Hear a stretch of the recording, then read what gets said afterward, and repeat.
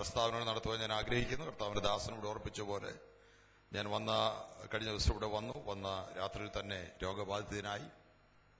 വളരെ ശക്തമായ രോഗം ബാധിച്ചു. എന്റെ ബ്ലഡ് പ്രഷർ വളരെ താണ് അറുപത് നാൽപ്പതായിട്ട് കുറഞ്ഞു. ഹോസ്പിറ്റലിൽ ചില മണിക്കൂറുകൾ കിടക്കേണ്ടി വന്നു. പ്രസംഗിക്കാൻ കഴിയത്തില്ലെന്ന് വിചാരിച്ചു. ഹോസ്പിറ്റലിൽ നിന്നാണ് ഇടയ്ക്ക് വന്ന് മിനിഞ്ഞാന്ന് വൈകുന്നേരം കുറേ നേരം പ്രസംഗിച്ചത് ഇന്നലെയും യാതൊരു ആഹാരവും കഴിക്കാതെയാണ് ഇവിടെ വന്ന് പ്രസംഗിച്ചത്. ഇന്ന് കർത്താവ് രാവിലെ അത്ഭുതമായ സൗഖ്യം തന്നു വിടുതൽ തന്നു. നന്ദിയോടെ ദൈവത്തിന് സ്തോത്രം ചെയ്യുന്നു. ഇപ്പോഴെല്ലാം നോർമലായിരിക്കുന്നു നിങ്ങളുടെ പ്രാർത്ഥനയ്ക്ക് പ്രത്യേകം നന്ദി അറിയിക്കുന്നു. കർത്താവ് തന്റെ ശിഷ്യന്മാരോട് പറഞ്ഞു തലപൊക്കി നോക്കുവീൻ. നിങ്ങൾ പറയും നാല് മാസം കഴിഞ്ഞ് കൊയ്ത്തുള്ളെന്ന്. തലപൊക്കി നോക്ക്. കൊയ്ത്തിനു വേണ്ടി വയലുകൾ ഇപ്പോഴേ വെളുത്തിരിക്കുകയാണ്. യേശു ശമരിയിൽ കൂടി കടന്നു പോകേണ്ടി വന്നു. ആഹാരം വാങ്ങുവാൻ മാർക്കറ്റിലേക്ക് ശിഷ്യന്മാർ പോയപ്പോൾ യാക്കോബ് കുഴിച്ചു കൊടുത്ത പുരാതനമായ കിണറിന്റെ മുകളിൽ യേശു ഇരുന്നു. വെള്ളം കോരുവാൻ വന്ന ശമരിയാക്കാരി സ്ത്രീ അവൾ കണ്ടത് ഒരു കിണറിന്റെ പുറത്ത് വേറെ ഒരു കിണറിരിക്കുന്നു യാക്കോബിന്റെ കിണറിന്റെ പുറത്ത് ജീവജലത്തിന്റെ കിണറിരിക്കുന്നു യേശു അവളെ വിവേചിച്ചു. അവളെ വിവേചിച്ചിട്ട് പറഞ്ഞു നിന്നോട് കുടിപ്പാൻ ചോദിക്കുന്നവൻ ആരെന്ന് നീ അറിഞ്ഞിരുന്നെങ്കിൽ യേശു പറഞ്ഞു എനിക്ക് കുടിക്കാൻ വെള്ളം തരാൻ പറഞ്ഞു. അങ്ങനെ സംഭാഷണം ആരംഭിച്ചു. ഒടുവിൽ യേശു അങ്ങോട്ട് പറയുകയാണ് നിന്നോട് കുടിപ്പാൻ ചോദിക്കുന്നവൻ ആരാണെന്ന് നീ അറിഞ്ഞാൽ നിന്റെ അകത്തെ കണ്ണ് തുറന്ന് ഒരു വെളിച്ചം നിനക്കുണ്ടായാൽ നിനക്കൊരറിവുണ്ടായാൽ നീ അവനോട് കുടിക്കാൻ ചോദിക്കുമായിരുന്നു. അവളുടെ ജീവിതത്തെ വിവേചിച്ചു കഴിഞ്ഞപ്പോൾ അവൾക്ക് മനസ്സിലായി ആദ്യം അവൾ വിചാരിച്ചു ഒരു യഹൂദനാണ്. പിന്നെ അവൾക്ക് മനസ്സിലായി ഒരു പ്രവാചകനാണ്. പിന്നെ അവൾക്ക് മനസ്സിലായി ഇവൻ മഷിഹയാണ്. അവൾ പാത്രം വെച്ചിട്ട് ഓടിപ്പോയി എന്നാണ് യോഹന്നാൻ എഴുതിയിരിക്കുന്നത്. പാത്രം കിണറിന്റെ കരയിൽ വെച്ചിട്ട് അവൾ അവളുടെ ഗ്രാമത്തിലേക്ക് ഓടിപ്പോയി. അഞ്ച് ഭർത്താക്കന്മാർക്ക് വേണ്ടി വെള്ളം കോരിയ പാത്രമാ ആറാമത് ഭർത്താവല്ലാത്ത ഒരു പുരുഷന് വേണ്ടി വെള്ളം കോരാൻ വന്നത്. അവൾ തീരുമാനിച്ച് ഇനിയും വെള്ളം കോരി നിർത്തുക. ഇനി ഈ കിണറ്റിൽ നിന്ന് വെള്ളം കോരുന്നില്ല. ഈ പാത്രം കൊണ്ട് വെള്ളം കോരുന്നില്ല. വേറെ ഒരു വെള്ളം കോരിനു വേണ്ടി അവളുടെ ജീവിതത്തിൽ ദൈവത്തിനൊരു പദ്ധതിയുണ്ടെന്ന് അവൾക്ക് മനസ്സിലായപ്പോൾ പാത്രം വെച്ചിട്ട് അവൾ ശമരിയിൽ ചെന്നിട്ട് പറഞ്ഞു ഞാൻ ചെയ്തതെല്ലാം എന്നോട് പറഞ്ഞ ഒരുത്തൻ ആ കിണറിന്റെ അവിടെ ഇരിപ്പുണ്ട്. അവൻ പക്ഷേ മഷിയായിരിക്കും. ആ പട്ടണം മുഴുവൻ അവളുടെ കൂടെ പുറപ്പെട്ടു വരികയാണ്. കൊള്ളരുതാത്ത രീതിയിൽ ജീവിച്ച അഞ്ചു കല്യാണങ്ങൾ വീട്ടിൽ നടത്തി. അഞ്ച് പുരുഷന്മാരെ ഉപേക്ഷിച്ചിട്ട് കല്യാണം കഴിക്കാതെ ഒരു പുരുഷന്റെ കൂടെ ജീവിക്കുന്ന അവിഹിത ബന്ധമുള്ള ഒരു സ്ത്രീ ചെന്ന് പറയുകയാണ് എങ്കിൽ നാട്ടുകാർ കൂടെ ഇറങ്ങി വരുമോ? ആരും വരത്തില്ല. അവരുടെ വാക്കിന് വിലയില്ല. പക്ഷേ ഇപ്പോഴങ്ങനെയല്ല അവരുടെ ശബ്ദത്തൊരു വ്യത്യാസം അവർക്ക് മനസ്സിലായി അവരുടെ മുഖത്തൊരു വ്യത്യാസം മനസ്സിലായി അവളുടെ ആത്മാർത്ഥതയ്ക്ക് ഒരു വ്യത്യാസം അവർക്ക് മനസ്സിലായി. ഇവൾ പറയുന്നതിൽ എന്തോ സത്യമുണ്ടെന്ന് അവർക്ക് ബോധ്യം വന്ന് പട്ടണം മുഴുവൻ ഇളകി വരുന്നത് കണ്ടുകൊണ്ട് യേശു ശിഷ്യന്മാരോട് പറയാണ് തലപൊക്കി നോക്ക് തലപൊക്കി നോക്ക്. കൊയ്ത്തിനു വേണ്ടി ഈ വയലുകൾ വെളുത്തിരിക്കുന്നു. ഇന്ത്യയിലേക്ക് തലപൊക്കി നോക്ക് നൂറ്റി രണ്ട് കോടി ജനങ്ങൾ. നൂറ്റി രണ്ട് കോടി ജനങ്ങൾ സുവിശേഷത്തിന് വേണ്ടി കാത്തിരിക്കുന്നു. ലോക സുവിശേഷീകരണമാണ് ദൈവം തന്റെ ജനത്തെ ഏൽപ്പിച്ചിരിക്കുന്നത്. പലപ്പോഴും നമ്മളെ ചെറിയ ചിന്താഗതിയുള്ള ആളുകളാണ്. ഗലീലക്കടന്റെ തീരത്ത് വളർന്നതായ പത്രോസ് യോഹന്നാൻ മത്തായി ഇങ്ങനെയുള്ള ആളുകൾ പത്രോസ് പറഞ്ഞു കൊടുത്തത് കേട്ട് എഴുതിയതാണ് മർക്കോസിന്റെ സുവിശേഷം. മത്തായി ഗലീലക്കാരനായിരുന്നു. യോഹന്നാൻ ഗലീലക്കാരായിരുന്നു. അതുകൊണ്ട് ഇവരെഴുതിയ ആ സുവിശേഷങ്ങളിൽ ഗലീലക്കടൽ ഗലീലക്കടൽ യേശു ഗലീലക്കടലിൽ കൂടെ അക്കരയ്ക്ക് യാത്ര ചെയ്തു. ഗലീലക്കടലിൽ ഒരു മീൻ പിടിക്കുകയായിരുന്നു എന്നാ എഴുതിയത്. ഗലീലക്കടൽ എന്ന് പറഞ്ഞൊരു കടലില്ല. ഒരു തടാകമാണ് ഒരു ലേക്കാണ്. പതിനഞ്ച് കിലോമീറ്റർ വീതിയുള്ള ഒരു ലേക്കാണ്. യോർദാൻ നദി വന്ന് വീഴുന്ന ശുദ്ധജല തടാകമാണ് ഉപ്പുവെള്ളം പോലുമല്ല. പക്ഷേ അവിടെ പാർത്തിരുന്ന ഈ ആളുകൾ അവർ കടൽ കണ്ടിട്ടില്ലാത്തത് കൊണ്ട് അവരിതിനെ കടലെന്നാ വിളിച്ചത്. അതുകൊണ്ട് മൂന്ന് സുവിശേഷകരും ഗലീലക്കടലെന്നാ എഴുതിയത്. ലൂക്കോസ് ആകട്ടെ കപ്പൽ കയറി വന്നയാളാ മെഡിറ്ററേനിയൻ സീയിലൂടെ. പൗലോസിന്റെ കൂടെ യാത്ര ചെയ്തയാളാ. അയാൾ യൂറോപ്യനാണെന്ന് കരുതുന്നു. ഏതായാലും കടൽ കണ്ടിട്ടുള്ള ലൂക്കോസ് എടുത്ത ശിവശേഷത്തിന് വായിച്ചു നോക്കണം. ഗന്നസരേത്ത് തടാകം. യേശു ഗന്നസരെ തടാകത്തിൽ കൂടെ പടകിൽ യാത്ര ചെയ്തു. ഗന്നസരത്ത് തടാകത്തിൽ അവർ മീൻ പിടിക്കുകയായിരുന്നു. ഒരു കൂട്ടർ എഴുതി ഗലീല കടലെന്ന് വേറൊരാൾ എഴുതി ഗന്നസരെ തടാകം. ഓരോരുത്തരുടെയും പശ്ചാത്തലം അനുസരിച്ചാണ് കാഴ്ചപ്പാട്. ഈ ഗലീലയിലെ ഒരു ചെടിയ ചെറിയ തടാകത്തെ നോക്കി കടലെന്ന് വിളിച്ച ആളുകൾക്ക് ലോകവീക്ഷണം കൊടുത്ത് റോമാപട്ടണത്തിലേക്കും ദൂരെയുള്ള ദിക്കുകളിലേക്കും അവരെ അയച്ച് സുവിശേഷം കൊണ്ട് അയച്ച യേശുവിന്റെ പദ്ധതിയാണ് വലിയ പദ്ധതി. നിന്റെ തല കുനിഞ്ഞിരിക്കുമ്പോൾ നീ വിചാരിക്കും ഇതാ ലോകം. മലയാളികളുടേതാണ് ലോകം കേരളമാണ് ലോകം മലയാളികളാണ് ലോകം. ഇല്ല. അങ്ങനെയുള്ള ഒരു വിളിയല്ല ദൈവം നിനക്ക് തന്നിരിക്കുന്നത്. ലോക സുവിശേഷീകരണത്തിന് വേണ്ടി നിന്റെ തല പൊക്കി നോക്കണം. Go into all the world and preach the gospel to every creature ഭൂലോകമൊക്കെയും പോയി സകല സൃഷ്ടിയോടും സുവിശേഷം പ്രസംഗിപ്പീൻ. അതാണ് യേശു പറഞ്ഞത്. എല്ലായിടത്തുമുള്ള എല്ലാവരും ലോകം മുഴുവൻ അതുകൊണ്ടല്ലേ സെയിന്റ് തോമസ് അന്ന് പായ്ക്കപ്പൽ കയറി കേരളത്തിന് തീരത്ത് വന്നിറങ്ങി സുവിശേഷം അറിയിച്ച ഇന്ത്യയിൽ തന്റെ ജീവൻ കൊടുത്തത്. ലോകം മുഴുവൻ അറിയപ്പെട്ട ലോകം മുഴുവൻ സുവിശേഷം അറിയിക്കുവാൻ അന്ന് അപ്പോസ്തോലന്മാർക്ക് കഴിഞ്ഞത് അതുകൊണ്ടാണ് യേശുവിന്റെ കൽപ്പന സ്വീകരിച്ചു. ഒരു ലോകത്തെ ചൂണ്ടിക്കൊണ്ട് നഷ്ടപ്പെട്ട ലോകത്തെ ചൂണ്ടിക്കൊണ്ട് കർത്താവ് നമ്മളോട് പറയുന്നു ആത്മാക്കളെ നേടുക. നഷ്ടപ്പെട്ട ആത്മാക്കളെ നേടുക. പലപ്പോഴും നമ്മുടെ ഭക്തി നമ്മുടെ മാത്രം ഞാനും എന്റെ ഭാര്യ എന്റെ മക്കൾ ഞങ്ങൾ രക്ഷിക്കപ്പെട്ടു. ഞങ്ങൾ സ്വർഗത്തിൽ പോകണം അല്ലെ ഞങ്ങളുടെ സഭക്കാർ ഞങ്ങളുടെ ഡിനോമിനേഷൻ ഈ കാഴ്ചപ്പാടല്ല. കർത്താവ് തരുന്ന കാഴ്ചപ്പാട്. വിശാലമായൊരു കാഴ്ചപ്പാട്. കർത്താവ് പറയുന്നു തലപൊക്കി നോക്ക്. തലപൊക്കി നോക്ക്. നൂറ്റി രണ്ട് കോടി ജനങ്ങൾ ഇന്ത്യയിലുണ്ട്. അവർ യേശുവിന്റെ സുവിശേഷം കേൾക്കണമെങ്കിൽ ആരവരോട് സുവിശേഷം പറയും? അവർ സുവിശേഷം കേൾക്കണ്ടേ അവരെ അറിയിക്കണ്ടേ? ഇന്ത്യയിലെ ആറു ലക്ഷം ഗ്രാമങ്ങൾ ഇന്ത്യയിലെ നാനൂറ്റി അമ്പത് ഡിസ്ട്രിക്റ്റുകൾ സുവിശേഷം അറിയാത്ത എത്രയോ എത്രയോ ജനക്കോടികൾ രണ്ട് മൂന്ന് ശതമാനം ആളുകളിൽ കൂടുതൽ സുവിശേഷം എന്താണെന്ന് അറിഞ്ഞിട്ടില്ല. ഉത്തരേന്ത്യൻ ഗ്രാമങ്ങളിൽ ചെന്നാൽ യേശു എന്ന പേര് പോലും കേട്ടിട്ടില്ലാത്ത ജനക്കോടികളെ ഇന്നും കാണാം.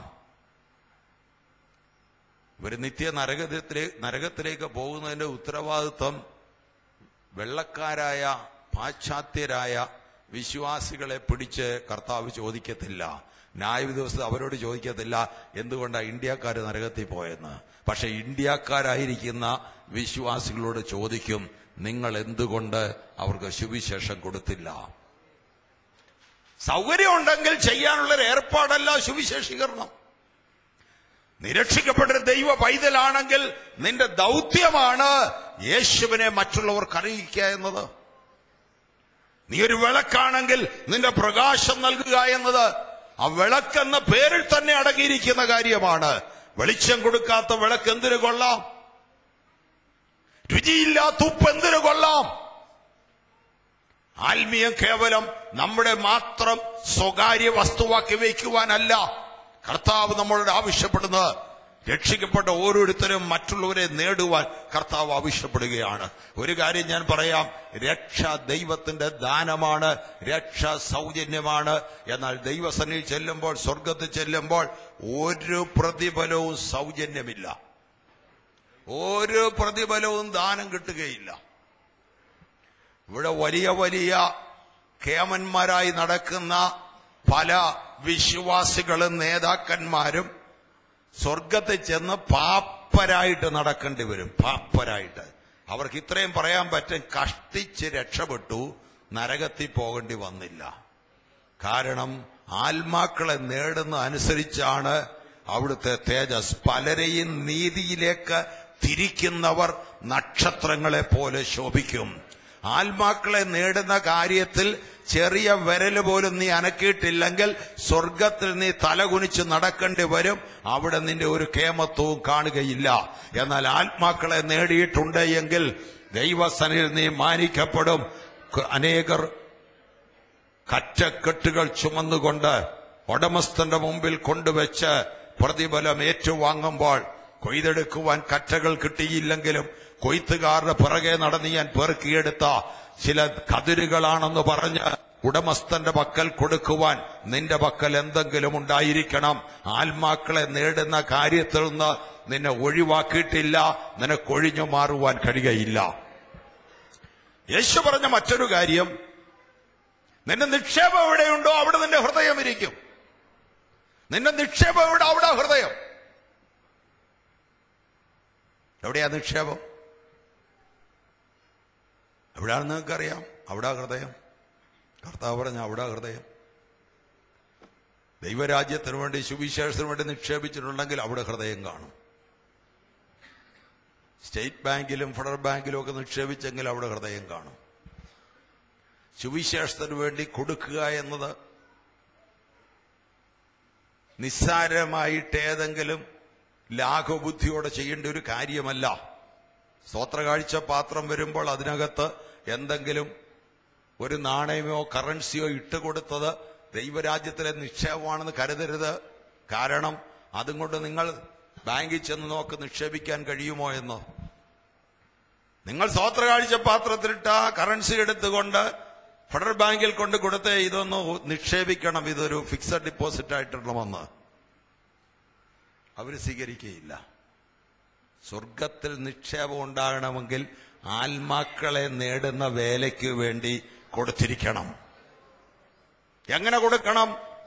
ഒരു സ്ത്രീ മുന്നൂറ് വെള്ളിക്കാശ് വില വരുന്ന തൈലം അവൾ കൊണ്ടുവന്ന് യേശുവിന്റെ അടുക്കൽ കൊണ്ടുവന്ന് ഉടച്ചു.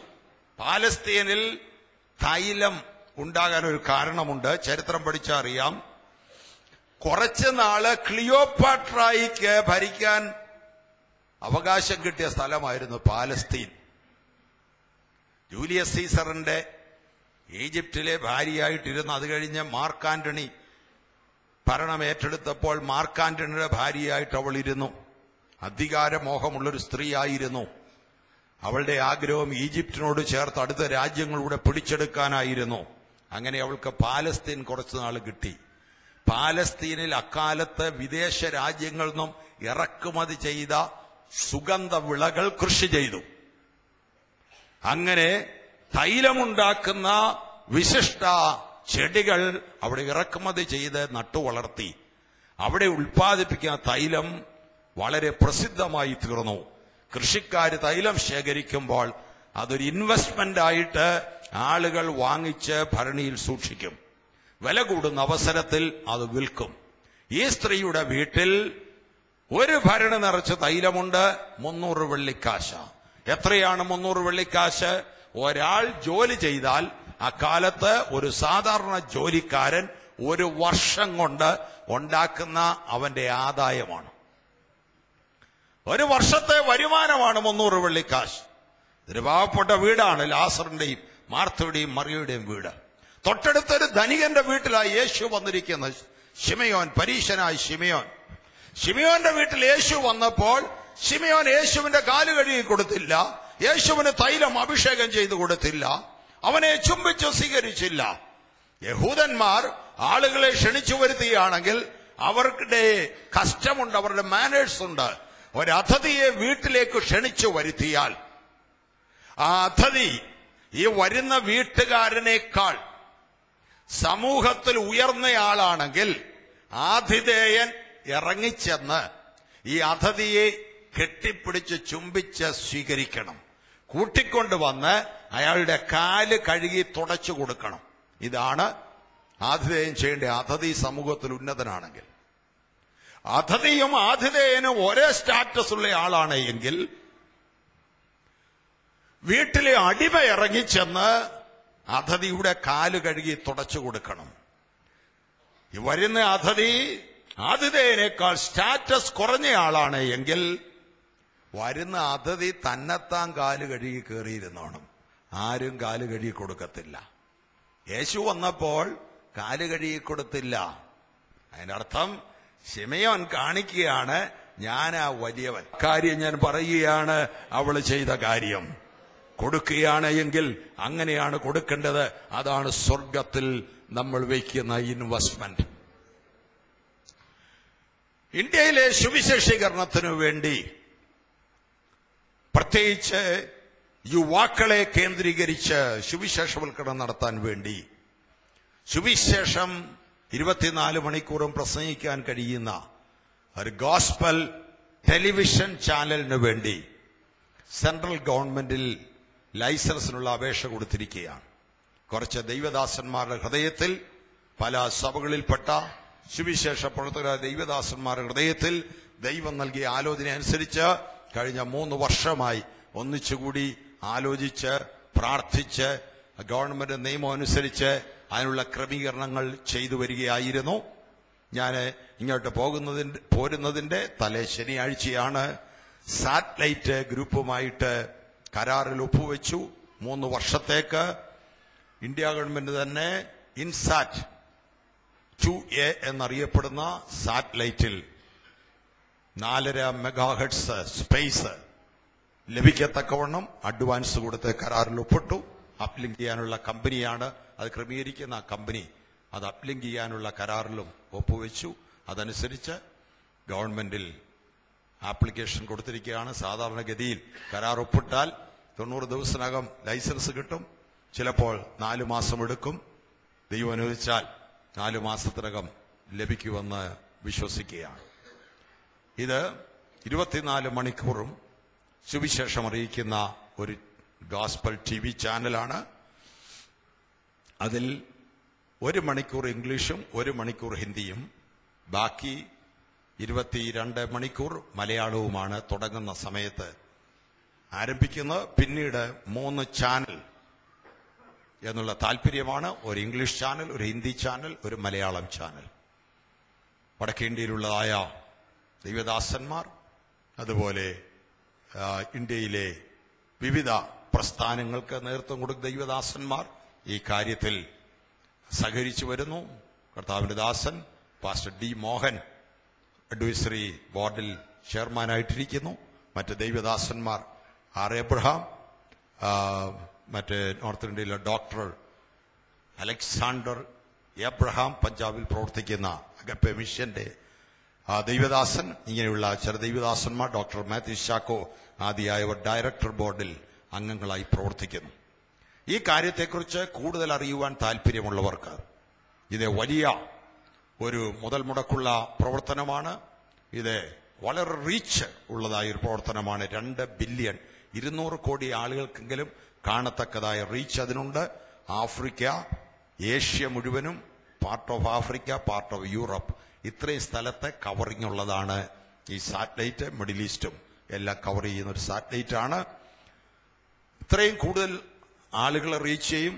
അത്രയും സ്ഥലത്ത് അതിന്റെ പ്രക്ഷേപണം ചെന്നു ചേരും അതനുസരിച്ച് നോക്കുമ്പോൾ മുടക്കുമുതൽ വളരെ കുറവാണ്.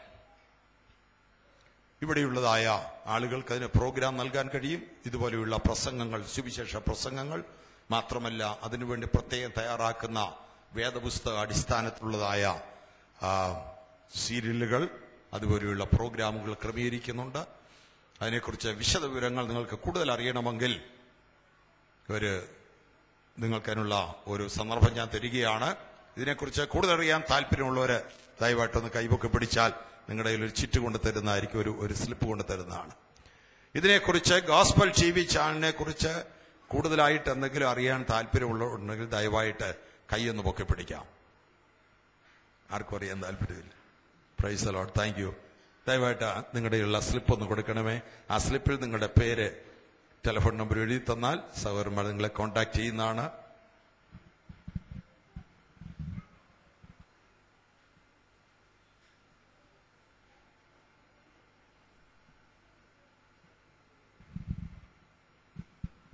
ഇവിടെ കൂടുതൽ സമയം അതിനുവേണ്ടി എടുക്കാൻ താല്പര്യമില്ല. അതുകൊണ്ടാണ് ഇപ്പോൾ നിങ്ങൾ അതിനകത്ത് നിങ്ങളുടെ പേരും ആ ടെലിഫോൺ നമ്പറും എഴുതിയാൽ മതി. എഴുതി തന്നാൽ നിങ്ങളെ പിന്നീട് കോണ്ടാക്ട് ചെയ്യുന്നതായിരിക്കും. എന്താണെന്ന് ഞാൻ പറയാം? സുവിശേഷ പ്രവർത്തനത്തിനെതിരായിട്ടുള്ള ഒരു ഗവൺമെന്റ് ആയിരുന്നു ഇന്ത്യയിൽ ഭരിച്ചുകൊണ്ടിരുന്നത്.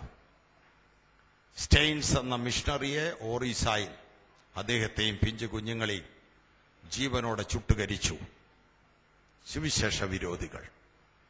അങ്ങനെയുള്ള ആളുകൾക്ക് കവറങ്ങി നൽകിയിരുന്ന ഒരു വർഗീയ ഗവൺമെന്റ് ഇന്ത്യയെ ഭരിച്ചുകൊണ്ടിരുന്നു. അവർക്ക് കാലാവധി പൂർത്തിയാക്കുവാൻ പിന്നെയും നാലഞ്ച് മാസങ്ങൾ ബാക്കിയുണ്ടായിരിക്കെ. അവർക്ക് വൻപിച്ച ഭൂരിപക്ഷം കിട്ടും ഉടനെ തെരഞ്ഞെടുപ്പ് നടത്തിയാലെന്ന തെറ്റിദ്ധാരണ ഉണ്ടായിട്ട് അഞ്ചു മാസം മുമ്പ് കാലാവധി പൂർത്തിയാക്കുന്നതിന് അഞ്ച് മാസം മുമ്പ് ഇന്ത്യയിൽ എലക്ഷൻ പ്രഖ്യാപിച്ചു. ആ ഇലക്ഷനിൽ ആ ഗവൺമെന്റ് വലിയ ഭൂരിപക്ഷത്തിൽ വരും എന്ന് എല്ലാ സർവേക്കാരും സർവേ നടത്തിയവരെല്ലാം അഭിപ്രായപ്പെട്ടു.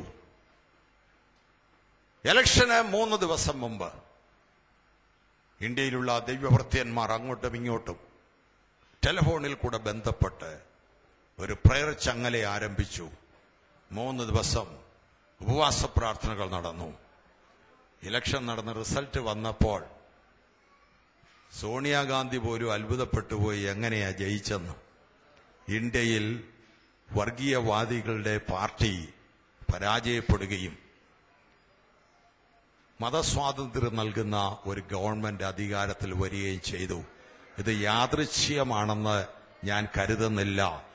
മഹാദൈവത്തിന്റെ പദ്ധതിയിൽപ്പെട്ട കാര്യമായിരുന്നു. അനേക രാജ്യങ്ങളിലും ദൈവമക്കൾ പ്രാർത്ഥിച്ചതാണ് ഇന്ത്യയ്ക്ക് വേണ്ടി ഇന്ത്യയിലുള്ള പീഡനങ്ങളുടെ സമയത്ത്. ദൈവം പ്രാർത്ഥന കേട്ടു. അതിനുശേഷം ഡൽഹിയിൽ പല മീറ്റിങ്ങുകൾ നടന്നു. രണ്ട് മീറ്റിങ്ങുകളിൽ എനിക്ക് പങ്കെടുക്കുവാനിടയായി. ഡൽഹിയിലുള്ള പുതിയതായി തെരഞ്ഞെടുക്കപ്പെട്ട പാർലമെന്റ് അംഗങ്ങൾക്ക് വേണ്ടിയും മന്ത്രിമാർക്ക് വേണ്ടിയും ഒരു പ്രയർ മീറ്റിംഗ് താജ് ഹോട്ടലിൽ വെച്ച് നടത്തി. പതിനഞ്ച് ക്രിസ്ത്യൻ ലീഡേഴ്സിനെ ഇന്ത്യയുടെ വിവിധ ഭാഗങ്ങളിൽ നിന്ന് പ്രത്യേകം ക്ഷണിച്ചു. സംഘാടകർ എങ്ങനെയോ എന്നെ കൂടെ ആ കൂട്ടത്തിൽ വിളിച്ചു. എനിക്കും അതുകൊണ്ട് അവിടെ പോകാൻ കഴിഞ്ഞു.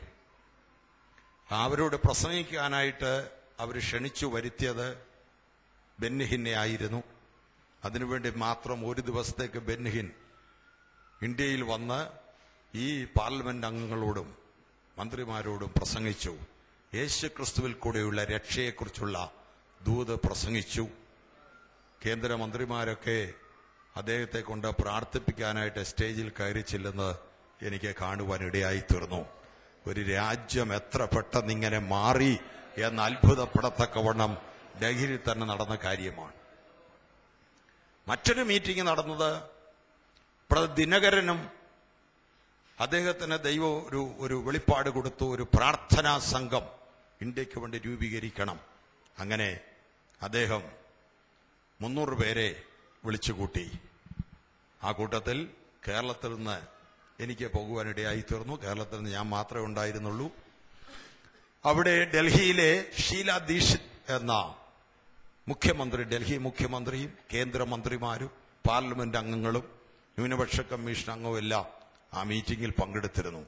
ഷീല ദീക്ഷിത് എന്ന ഡൽഹി മുഖ്യമന്ത്രി ചെയ്ത പ്രസംഗത്തിൽ അവർ പറഞ്ഞ വാചകം ഞാൻ ഓർക്കുന്നു. ഞങ്ങൾക്കൊരു കാര്യം മനസ്സിലായി.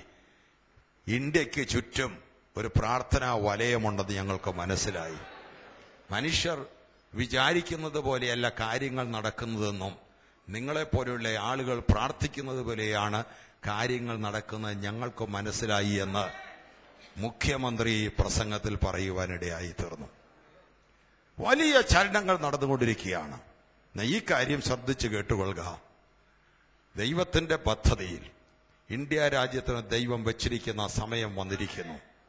രണ്ടായിരത്തി പത്താം ആണ്ട് ആകുന്നതിന് മുമ്പ് രണ്ടായിരത്തി പത്താം ആണ്ടോട് കൂടി അടുത്ത അഞ്ച് വർഷങ്ങൾ കൊണ്ട് ഇന്ത്യയിൽ അതിശക്തമായ ആത്മീയ ഉണർവുണ്ടാകുകയും ഇന്ത്യയിൽ ലക്ഷക്കണക്കിന് ആളുകൾ യേശുവിന് വേണ്ടി ഓർതിരിക്കുകയും ചെയ്യുന്ന സമയം വന്നിരിക്കുകയാണ്. അതിനുള്ള സമയമാണിത്. അതിനുള്ള സമയം വന്നിരിക്കുകയാണ്. കഴിഞ്ഞ ചില ആഴ്ചകൾക്ക് മുമ്പേ എനിക്ക് ഉത്തരേന്ത്യയിൽ പല സ്ഥലങ്ങളിൽ പോകാനിടയായി തീർന്നു അവിടെ ഉണ്ടായ മാറ്റങ്ങൾ കാണാനിടയായി തീർന്നു പാറ്റ്നയിൽ ഡോക്ടർ രാജേന്ദ്ര പ്രസാദ് ഇന്ത്യയുടെ ഒന്നാം പ്രസിഡന്റ്. ജനിച്ചു വളർന്ന അദ്ദേഹത്തിന്റെ വീട് ഒരു ഒരു ട്രസ്റ്റ് ഏറ്റെടുത്ത് ഒരു മെമ്മോറിയലായിട്ട് സൂക്ഷിച്ചിരിക്കുക. അതിന്റെ മൈതാനമാണ് മുറ്റം. മുറ്റം ഒരു വലിയ മൈതാനം. ആ മൈതാനം അതിന്റെ ട്രസ്റ്റിന്റെ ആളുകളോട് ചോദിച്ചു വാങ്ങി. ആദ്യമായിട്ടൊരു സുവിശേഷ യോഗം അവിടെ നടത്തുകയാണ്. യോഗം നടത്താൻ തുടങ്ങിയപ്പോൾ അവിടെ വലിയ എതിരുണ്ടായി. ആർ എസ് കാരായിരിക്കുന്ന ആളുകൾ വന്ന് ഉപദ്രവിക്കാനൊക്കെ വന്നു എങ്കിലും ഞാനാണ് മൂന്ന് ദിവസം ഇവിടെ പ്രസംഗിച്ചത് ആയിരത്തിലധികം ആളുകൾ. അത് ഹൈ കാസ്റ്റ് ഹിന്ദുസ് ആണ് അവർ വന്ന് അവർ പറഞ്ഞ് ഞങ്ങൾക്ക് കേൾക്കണം. ഉപദ്രവിക്കാൻ വന്ന ആളുകളെ അവരോടിച്ചു അവർ പറഞ്ഞ് ഞങ്ങൾക്കറിയണം ഇതെന്താണെന്ന്. ഇവരെന്താ കുഴപ്പം പറയുന്നത്? ഞങ്ങൾ കേൾക്കട്ടെ. അതിൽ എണ്ണൂറിലധികം ആളുകൾ രക്ഷിക്കപ്പെടാനായിട്ട് എഴുന്നേറ്റ് നിന്നു. അനേകർ കർത്താവ് സൗഖ്യം കൊടുത്തു. പിറ്റേ ആഴ്ച തന്നെ അവിടെ സഭ ആരംഭിച്ചു. നാൽപ്പതിലധികം ആളുകൾ സ്നാനപ്പെട്ട് ഇപ്പോൾ അവിടെ സഭായുഗം നടന്നു വരികയാണ്. ചില ആഴ്ചകളെ ആയുള്ളൂ. ഞാൻ ഇവിടെ വില്ലൻ ലീവ് എന്ന് പ്രസംഗിച്ചിട്ട് ആ ആഴ്ച ഞാൻ ഇവിടെ ഉണ്ടായിരുന്നു. ഇവിടെ നേരെ ഞാൻ പോയത് ഭോപ്പാലിനായിരുന്നു. ഭോപ്പാലിൽ നിന്ന് പാറ്റ്നയിലേക്കാണ് പോയത്. നവാപൂർ എന്ന സ്ഥലത്താണ് അതിന്റെ അടുത്ത ആഴ്ച കൺവെൻഷൻ ഉണ്ടായിരുന്ന മഹാരാഷ്ട്രയിൽ നവാപൂരിൽ. ഗുജറാത്തിന്റെയും മഹാരാഷ്ട്രയുടെയും ബോർഡറാണ് കഴിഞ്ഞ വർഷം ഈ സമയത്ത് തൊണ്ണൂറ് പള്ളികൾ കത്തിച്ചു കളഞ്ഞ സ്ഥലമാണ് നവാപൂർ ഏറിയ. ആദിവാസികളാണ്. അവരുടെ കൺവെൻഷനിലൊക്കെയാണ് ഡോക്ടർ തോമസ് മാത്യു രാജസ്ഥാനിലുള്ള ദൈവദാസൻ എല്ലാ വർഷവും നടത്തുന്ന കൺവെൻഷനാണ്. ഈ വർഷത്തെ കൺവെൻഷനിൽ അൻപതിനായിരം ആളുകളാണ് പങ്കെടുത്ത അൻപതിനായിരം ആളുകൾ. കേന്ദ്രമന്ത്രി ഉണ്ടായിരുന്നു കൺവെൻഷനിൽ പങ്കെടുക്കുവാൻ. കേന്ദ്രമന്ത്രി ആ നാട്ടുകാരനാണ്. അല്ല ഒരു ട്രൈബൽ വംശജനാണ്. അദ്ദേഹം വിശ്വാസിയല്ല. എന്നാൽ അദ്ദേഹത്തിന്റെ ആ പാർലമെന്റ് ആ നിയോജകമണ്ഡലത്തിൽ അത്രയും ആളുകൾ കൂടുന്ന ഒരു യോഗമുണ്ടെന്ന് പറഞ്ഞ് അദ്ദേഹം വന്നതാണ്. അൻപതിനായിരം ആളുകൾ വന്ന് ദൈവവചനം കേൾക്കുവാൻ രക്ഷിക്കപ്പെട്ടവരല്ല. പകുതി ആളുകൾ വിശ്വാസികളാണ്. ബാക്കി ആളുകൾ വചനം കേൾക്കുവാൻ വരികയാണ്. ആളുകൾക്ക് ദാഹമാണ്. ആളുകൾക്ക് താല്പര്യമാണ് ഇതെങ്ങനെ സംഭവിക്കുമെന്ന് ചോദിച്ചാൽ ദൈവത്താൽ സംഭവിക്കുന്നു. ഇതാ നമ്മുടെ രാജ്യത്തിന്റെ സമയം വന്നിരിക്കുന്നു. ഏതെങ്കിലും ഒരു ഗ്രാമം നിങ്ങൾ ദത്തെടുക്കണം. ഉത്തരേന്ത്യയിലെ ജാതിയുടെ പ്രവർത്തിക്കുന്ന ഏതെങ്കിലും ഒരു സുവിശേഷകനെ നിങ്ങൾ സഹായിക്കണം. ഉത്തരേന്ത്യയിലെ ജാതികളിൽ പ്രവർത്തിക്കുന്നവർക്ക് വളരെ കഷ്ടപ്പെട്ടാണ് അവിടെ പ്രവർത്തിക്കുന്നത്. അവരെ പട്ടിണി കടന്നുകൊണ്ട് തല്ലുകൊണ്ടുകൊണ്ട് ഉപദ്രവം സഹിച്ചുകൊണ്ട് അവരുടെ അകത്ത് ദൈവം കൊടുത്ത ദർശനം കൊണ്ട് മാത്രം അവരവിടെ നിൽക്കുകയാണ്. അങ്ങനെയുള്ള ആളുകളെ കണ്ടെത്തി അവരെ സഹായിക്കുകയും നാട്ടിൽ അവധിക്ക് പോകുമ്പോൾ ചില ദിവസമെങ്കിലും അങ്ങനെയുള്ള സ്ഥലങ്ങളിൽ പോയി കർത്താവിന്റെ വേലയിൽ പങ്കാളികളാകണം. കാരണം നിത്യതയ്ക്ക് വേണ്ടി സൃഷ്ടിക്കപ്പെട്ടവരാണ് നമ്മൾ. നമ്മുടെ ജീവിതത്തിന്റെ മാറ്ററിയുന്നത് നിത്യതയിലാണ്. ഇവിടെയല്ല. സ്തോത്രം.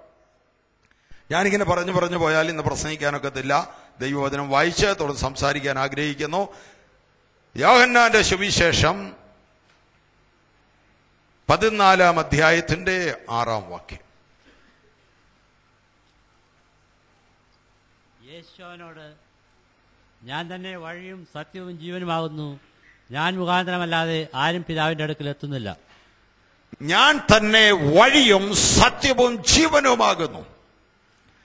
ഞാൻ മുഖാന്തരമല്ലാതെ ആരും പിതാവിന്റെ അടുക്കൽ എത്തുന്നില്ല തലമുണയ്ക്ക് ഒരു നിമിഷം പ്രാർത്ഥിക്കാം. പരിശുദ്ധനായ പ്രിയ പിതാവി അവിടുത്തെ തിരുവചനത്തിനായി സ്തോത്രം. ഇന്ന് രാത്രി വചനത്തെ പ്രകാശിപ്പിച്ച് ഞങ്ങളോട് തുറന്ന് സംസാരിക്കണമേ. അവിടുത്തെ ശബ്ദം കേൾക്കുവാൻ ഞങ്ങൾ കാത്തിരിക്കുന്നു. യേശുവിന്റെ നാമത്തിൽ തന്നെ.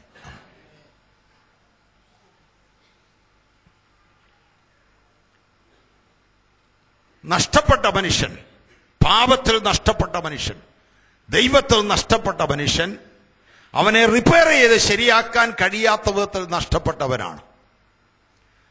വണ്ടി അപകടമുണ്ടാകുമ്പോൾ ഇൻഷുറൻസിൽ നിന്ന് ഇൻഷുർ ചെയ്ത വാഹനങ്ങൾക്ക് നന്നാക്കാനുള്ള പണം കിട്ടും. അതിന് ഇൻഷുറൻസിന്റെ ഇൻസ്പെക്ടർമാരുണ്ട് അവരും നോക്കും. വണ്ടിക്ക് എന്ത് കേടുണ്ട് എത്ര രൂപ ചെലവ് വരും നന്നാക്കാൻ. ചില സമയത്ത് അപകടം വളരെ കൂടിയതാണ് എങ്കിൽ നന്നാക്കാൻ ഒക്കത്തില്ല വാഹനം. അതുപോലെ തകർന്നു പോയിരിക്കുക. പാട്ട ചുളുങ്ങിയതുപോലെ വണ്ടി ചുളുങ്ങിയെടുക്കാൻ നന്നാക്കിയെടുക്കാൻ ഒക്കത്തില്ല അതിനേക്കാൾ നല്ലത് പുതിയ വണ്ടി വാങ്ങിക്കുകയാണ്. ആ സമയത്ത് അവർ എഴുതുന്ന ഒരു ഒരു വാക്കുണ്ട് ടോട്ടൽ ലോസ് നന്നാക്കാൻ ടോട്ടൽ ലോസ് മുഴുവൻ പോയിരിക്കുക. നന്നാക്കാൻ ഒക്കെയില്ല പാപത്തിൽ വീണ മനുഷ്യൻ ടോട്ടൽ ലോസ് ആണ്. അവനെ നന്നാക്കിയെടുക്കാനൊക്കത്തില്ല. ദുർഗുണ പരിഹാര പാഠശാലയിലോ കാരാഗ്രഹത്തിലോ നിയമത്തിന് മുമ്പിലോ കൊണ്ടുവന്ന് അവനെ നന്നാക്കിയെടുക്കാനൊക്കത്തില്ല. വിദ്യാഭ്യാസം കൊണ്ടോ പരിഷ്കാരം കൊണ്ടോ അവനെ നന്നാക്കിയെടുക്കാനൊക്കത്തില്ല. ഒറ്റ മാർഗമേ ഉള്ളൂ. അവനെ പുതുതായി സൃഷ്ടിച്ചെടുക്കണം. ഒരുത്തൻ ക്രിസ്തുവിലായാൽ അവൻ പുതിയ സൃഷ്ടിയാണ്. പഴയത് മുഴുവൻ കഴിഞ്ഞുപോയി. ക്രിസ്തുവിലൂടെ പുതിയ സൃഷ്ടിയാക്കുകയാണ്. യേശു പറഞ്ഞു ദൈവത്തെങ്കിലേക്കുള്ള വഴി ഞാനാണ്. ദൈവത്തെങ്കിലേക്കുള്ള സത്യം ഞാനാണ്. ദൈവത്തെങ്കിൽ ദൈവത്തിന്റെ ജീവൻ മനുഷ്യൻ ലഭിക്കുന്നത് എന്നിലൂടെയാണ്. ഞാൻ തന്നെയാണ് വഴി ഞാൻ തന്നെയാണ് സത്യം ഞാൻ തന്നെയാണ് ജീവൻ. ലോകത്തിൽ വന്ന ആളുകൾ ദൈവത്തെങ്കിലേക്കുള്ള വഴിയെക്കുറിച്ച് അഭിപ്രായം പറഞ്ഞു. ആ വഴി പോയാൽ ദൈവത്തിന്റെ അടുക്കൽ ചെല്ല ഈ വഴി പോയാൽ ദൈവത്തിന്റെ അടുക്കൽ ചെല്ല. വഴി ഇങ്ങനെയായിരിക്കും വഴി അങ്ങനെയായിരിക്കും വഴികളെ കുറിച്ചുള്ള നിരവധി അഭിപ്രായങ്ങൾ പറഞ്ഞ മഹാന്മാർ ഈ ലോകത്തിൽ വന്നിട്ടുണ്ട് എങ്കിലും യേശു വഴിയെക്കുറിച്ച് അഭിപ്രായം പറയാൻ വന്നവനല്ല. യേശു പറഞ്ഞു ഞാൻ തന്നെയാ വഴി. വഴിയെക്കുറിച്ചുള്ള അഭിപ്രായമല്ല എനിക്ക് പറയാനുള്ളത്. ഞാനാ വഴി. സത്യം എന്താണ് ബീലാത്തോസ് ചോദിച്ചു സത്യം എന്താണ്? സത്യത്തെക്കുറിച്ച് പല അഭിപ്രായങ്ങൾ ലോകത്തിലുണ്ട്. അതാ സത്യം ഇതാ സത്യം. യേശു പറഞ്ഞു ഞാനാ സത്യം. ജീവൻ എന്താണ്? യേശു പറഞ്ഞു ഞാനാ ജീവൻ. ഏത് ജീവനാണ്? ജീവൻ നിത്യജീവൻ. നിത്യജീവന്റെ അർത്ഥം എന്താണ് നിത്യജീവന്റെ അർത്ഥം പലപ്പോഴും നമ്മൾ ധരിച്ചു വച്ചിരിക്കുന്ന. അവസാനമില്ലാത്ത ജീവനെന്നോ അനന്ത ജീവനെന്നോ അതിന്റെ ദൈർഘ്യത്തെ കുറിച്ചാണ് നിത്യജീവൻ എന്ന് നാം പറയുന്നത്. ദൈർഘ്യം. അതല്ല നിത്യജീവൻ. നിത്യജീവൻ അതിന്റെ ക്വാളിറ്റിയാണ്. അതിന്റെ ഗുണമേന്മയാണ്. അത് മനസ്സിലാകണമെങ്കിൽ അനന്തജീവൻ എന്ന് പറഞ്ഞാൽ മനസ്സിലാകത്തില്ല. നിത്യജീവൻ എന്ന് പറഞ്ഞാൽ അതിന്റെ യഥാർത്ഥ അർത്ഥം ദൈവജീവൻ എന്നാണ്. യേശുവാണ് മനുഷ്യന് ദൈവജീവൻ നൽകുന്നത്. യഹൂദന്മാർക്ക് വളരെ മനസ്സിലാകുന്ന മൂന്ന് വാക്കുകളാണ് യേശു ഉപയോഗിച്ചത്. വഴിയും സത്യവും ജീവനും. കാരണം അവരുടെ ആരാധന സ്ഥലത്തിന് ഓരോ ഭാഗത്തിന് അവർ ഈ പേരിട്ടിരുന്നു. സമാഗമന കൂടാരത്തിന്റെ പ്രാകാരത്തെ അവർ വഴിയെന്ന് വിളിച്ചിരുന്നു. വിശുദ്ധ സ്ഥലത്തുള്ള വിശുദ്ധ സ്ഥലത്തെ അവർ സത്യമെന്ന് വിളിച്ചിരുന്നു. അതിപരിശുദ്ധ സ്ഥലത്തെ അവർ ജീവൻ എന്ന് വിളിച്ചിരുന്നു. അവർക്കറിയാം വഴിയെന്ന് പറഞ്ഞാൽ എന്താണ് സത്യമെന്ന് പറഞ്ഞാൽ എന്താണ് ജീവൻ എന്ന് പറഞ്ഞാൽ എന്താണ്. യേശു പറഞ്ഞു ഞാൻ ആ വഴി.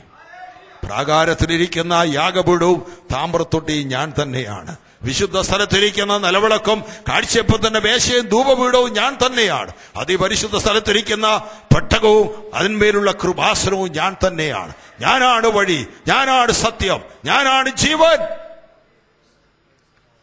ആദ്യം സമാഗമന കൂടാരത്തിലേക്ക് കയറി വരികയാണെങ്കിൽ പ്രാകാരത്തിലേക്ക് കയറി വരുമ്പോൾ അവിടെ രണ്ട് ഉപകരണങ്ങളാണുള്ളത്. കയറി വരുമ്പോൾ ആദ്യം ഇരിക്കുന്ന യാഗപീഠം രണ്ടാമത് താമ്രത്തൊട്ടി. ആര് വന്നാലും ആദ്യം യാഗപീഠത്തിന്റെ അടുക്കൽ വരാതെ ഇതിനകത്ത് പ്രവേശിക്കാൻ കഴിയയില്ല ദൈവത്തെങ്കിലേക്കുള്ള വഴിയിൽ ആദ്യം നിൽക്കുന്ന ഒരു യാഗപീഠമാ. ഏത് യാഗപീഠമാണെന്നറിയാമോ?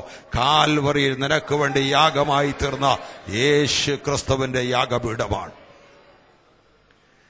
കാൽവറി യാഗമായ യേശുക്രിസ്തുവിലൂടെ അല്ലാതെ ഒരാൾക്ക് ദൈവവുമായിട്ടുള്ള നിരപ്പിലേക്ക് വരുവാൻ കഴിയയില്ല. ഞാൻ മുഖാന്തരമല്ലാതെ ആരും പിതാവിന്റെ അടുക്കൽ എത്തുന്നില്ല. ദൈവത്തിന് നന്യപ്പെട്ട മനുഷ്യനെ ദൈവത്തോട് നിരപ്പിക്കുവാൻ ഇടയ്ക്കൊരു മധ്യസ്ഥൻ വേണം. യേശുവാണ് മധ്യസ്ഥൻ.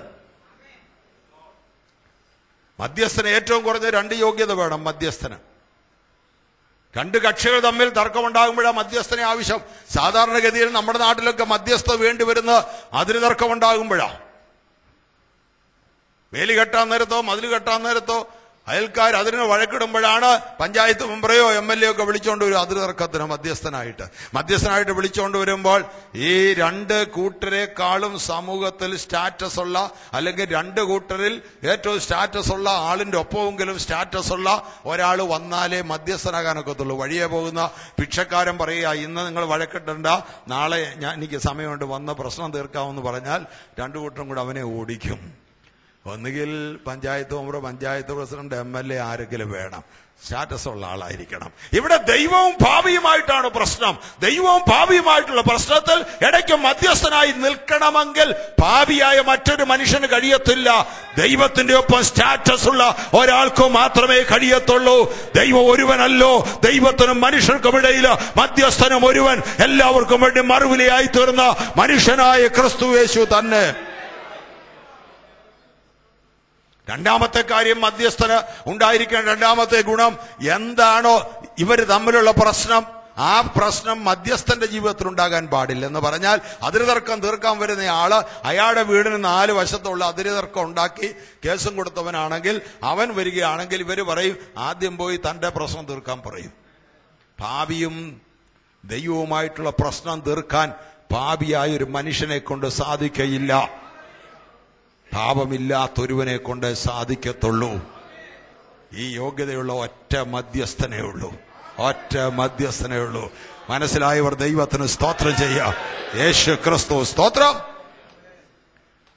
യാഗപീഠത്തിങ്കൽ ഒരാട്ടിൻകുട്ടിയെ അറുക്കുവാൻ കൊണ്ട് കെട്ടിവെച്ചിരിക്കുകയാണ്. യാഗപീഠത്തോട് ചേർത്ത് യാഗപുരത്തെ കെട്ടുവിരുന്ന് നാം വായിക്കുന്നു. ചേർത്ത് കെട്ടിയാൽ അതിന്റെ അർത്ഥം യാഗം കഴിക്കുവാൻ പോകുകയാണ്. ആ ആടിനെ അറുത്തു. എന്നാൽ എരിശലേമിൽ എത്ര ആടുകളെ ദൈവാലയത്തിൽ അറുത്തിട്ടുണ്ടെങ്കിലും ആട്ടുകൊറ്റന്മാരുടെയും കാളക്കിടാക്കളുടെയും രക്തത്തിന് പാപങ്ങളെ നീക്കുവാൻ ഒരു നാളും കഴിയുന്നതല്ല. അതെല്ലാം നിഴൽ മാത്രമായിരുന്നു പ്രതീകങ്ങൾ മാത്രമായിരുന്നു. എന്നാൽ മനുഷ്യവർഗത്തിന്റെ പാപത്തെ ചുമന്നുകൊണ്ട് കാൽവറി മലയുടെ ഉയരത്തിൽ കയറിയ യേശുവിന്റെ യാഗത്തിൽ മാത്രമാണ് മനുഷ്യന്റെ പാപം മോചിക്കുന്നത്.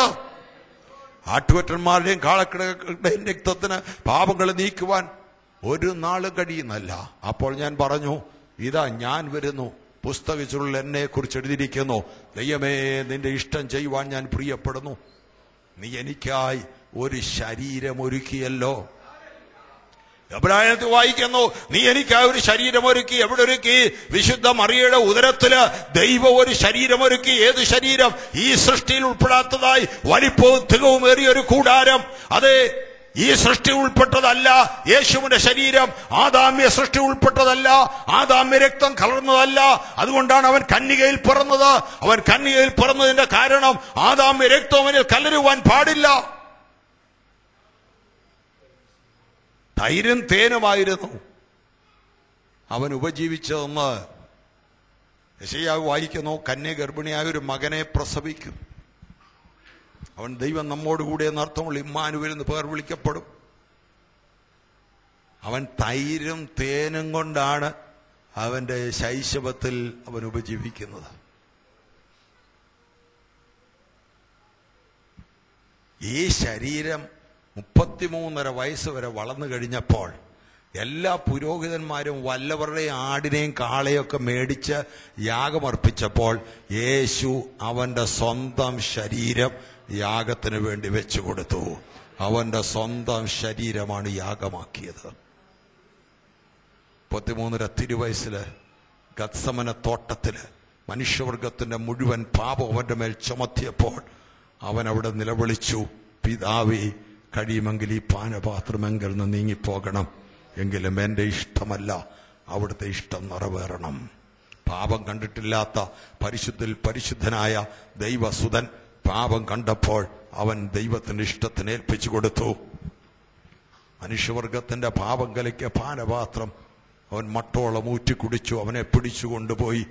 അവർ ഉപദ്രവിച്ചു. പീലാത്തോസിന്റെ അരമനയിൽ വിസ്തരിച്ച ഒരു കുറ്റവുമില്ലെന്ന് വിധി പറഞ്ഞിട്ട് അടിക്കാൻ ഏൽപ്പിച്ചു. അവനെ കൽത്തൂണോട് ചേർത്ത് കെട്ടിയിട്ടിട്ട് അവന്റെ പുറത്തെ വസ്ത്രങ്ങൾ ഉരിഞ്ഞു മാറ്റി. ചാട്ടവാറുകൊണ്ട് അവന്റെ പുറത്ത് ആഞ്ഞാഞ്ഞടിച്ചു നിലമുഴുമ്പോൾ മണ്ണ് മറിഞ്ഞു കിടക്കുന്ന പോലെ യേശുവിന്റെ പുറത്ത് ഉഴവ് ചാലുകൾ നീളത്തിൽ കീറി. അവന്റെ തടിയിൽ മുൾക്കിയുടെ മടിച്ചിറക്കി അവന്റെ മുഖത്തെ രോമങ്ങൾ ചവണ കൊണ്ട് പറിച്ചെടുത്തു.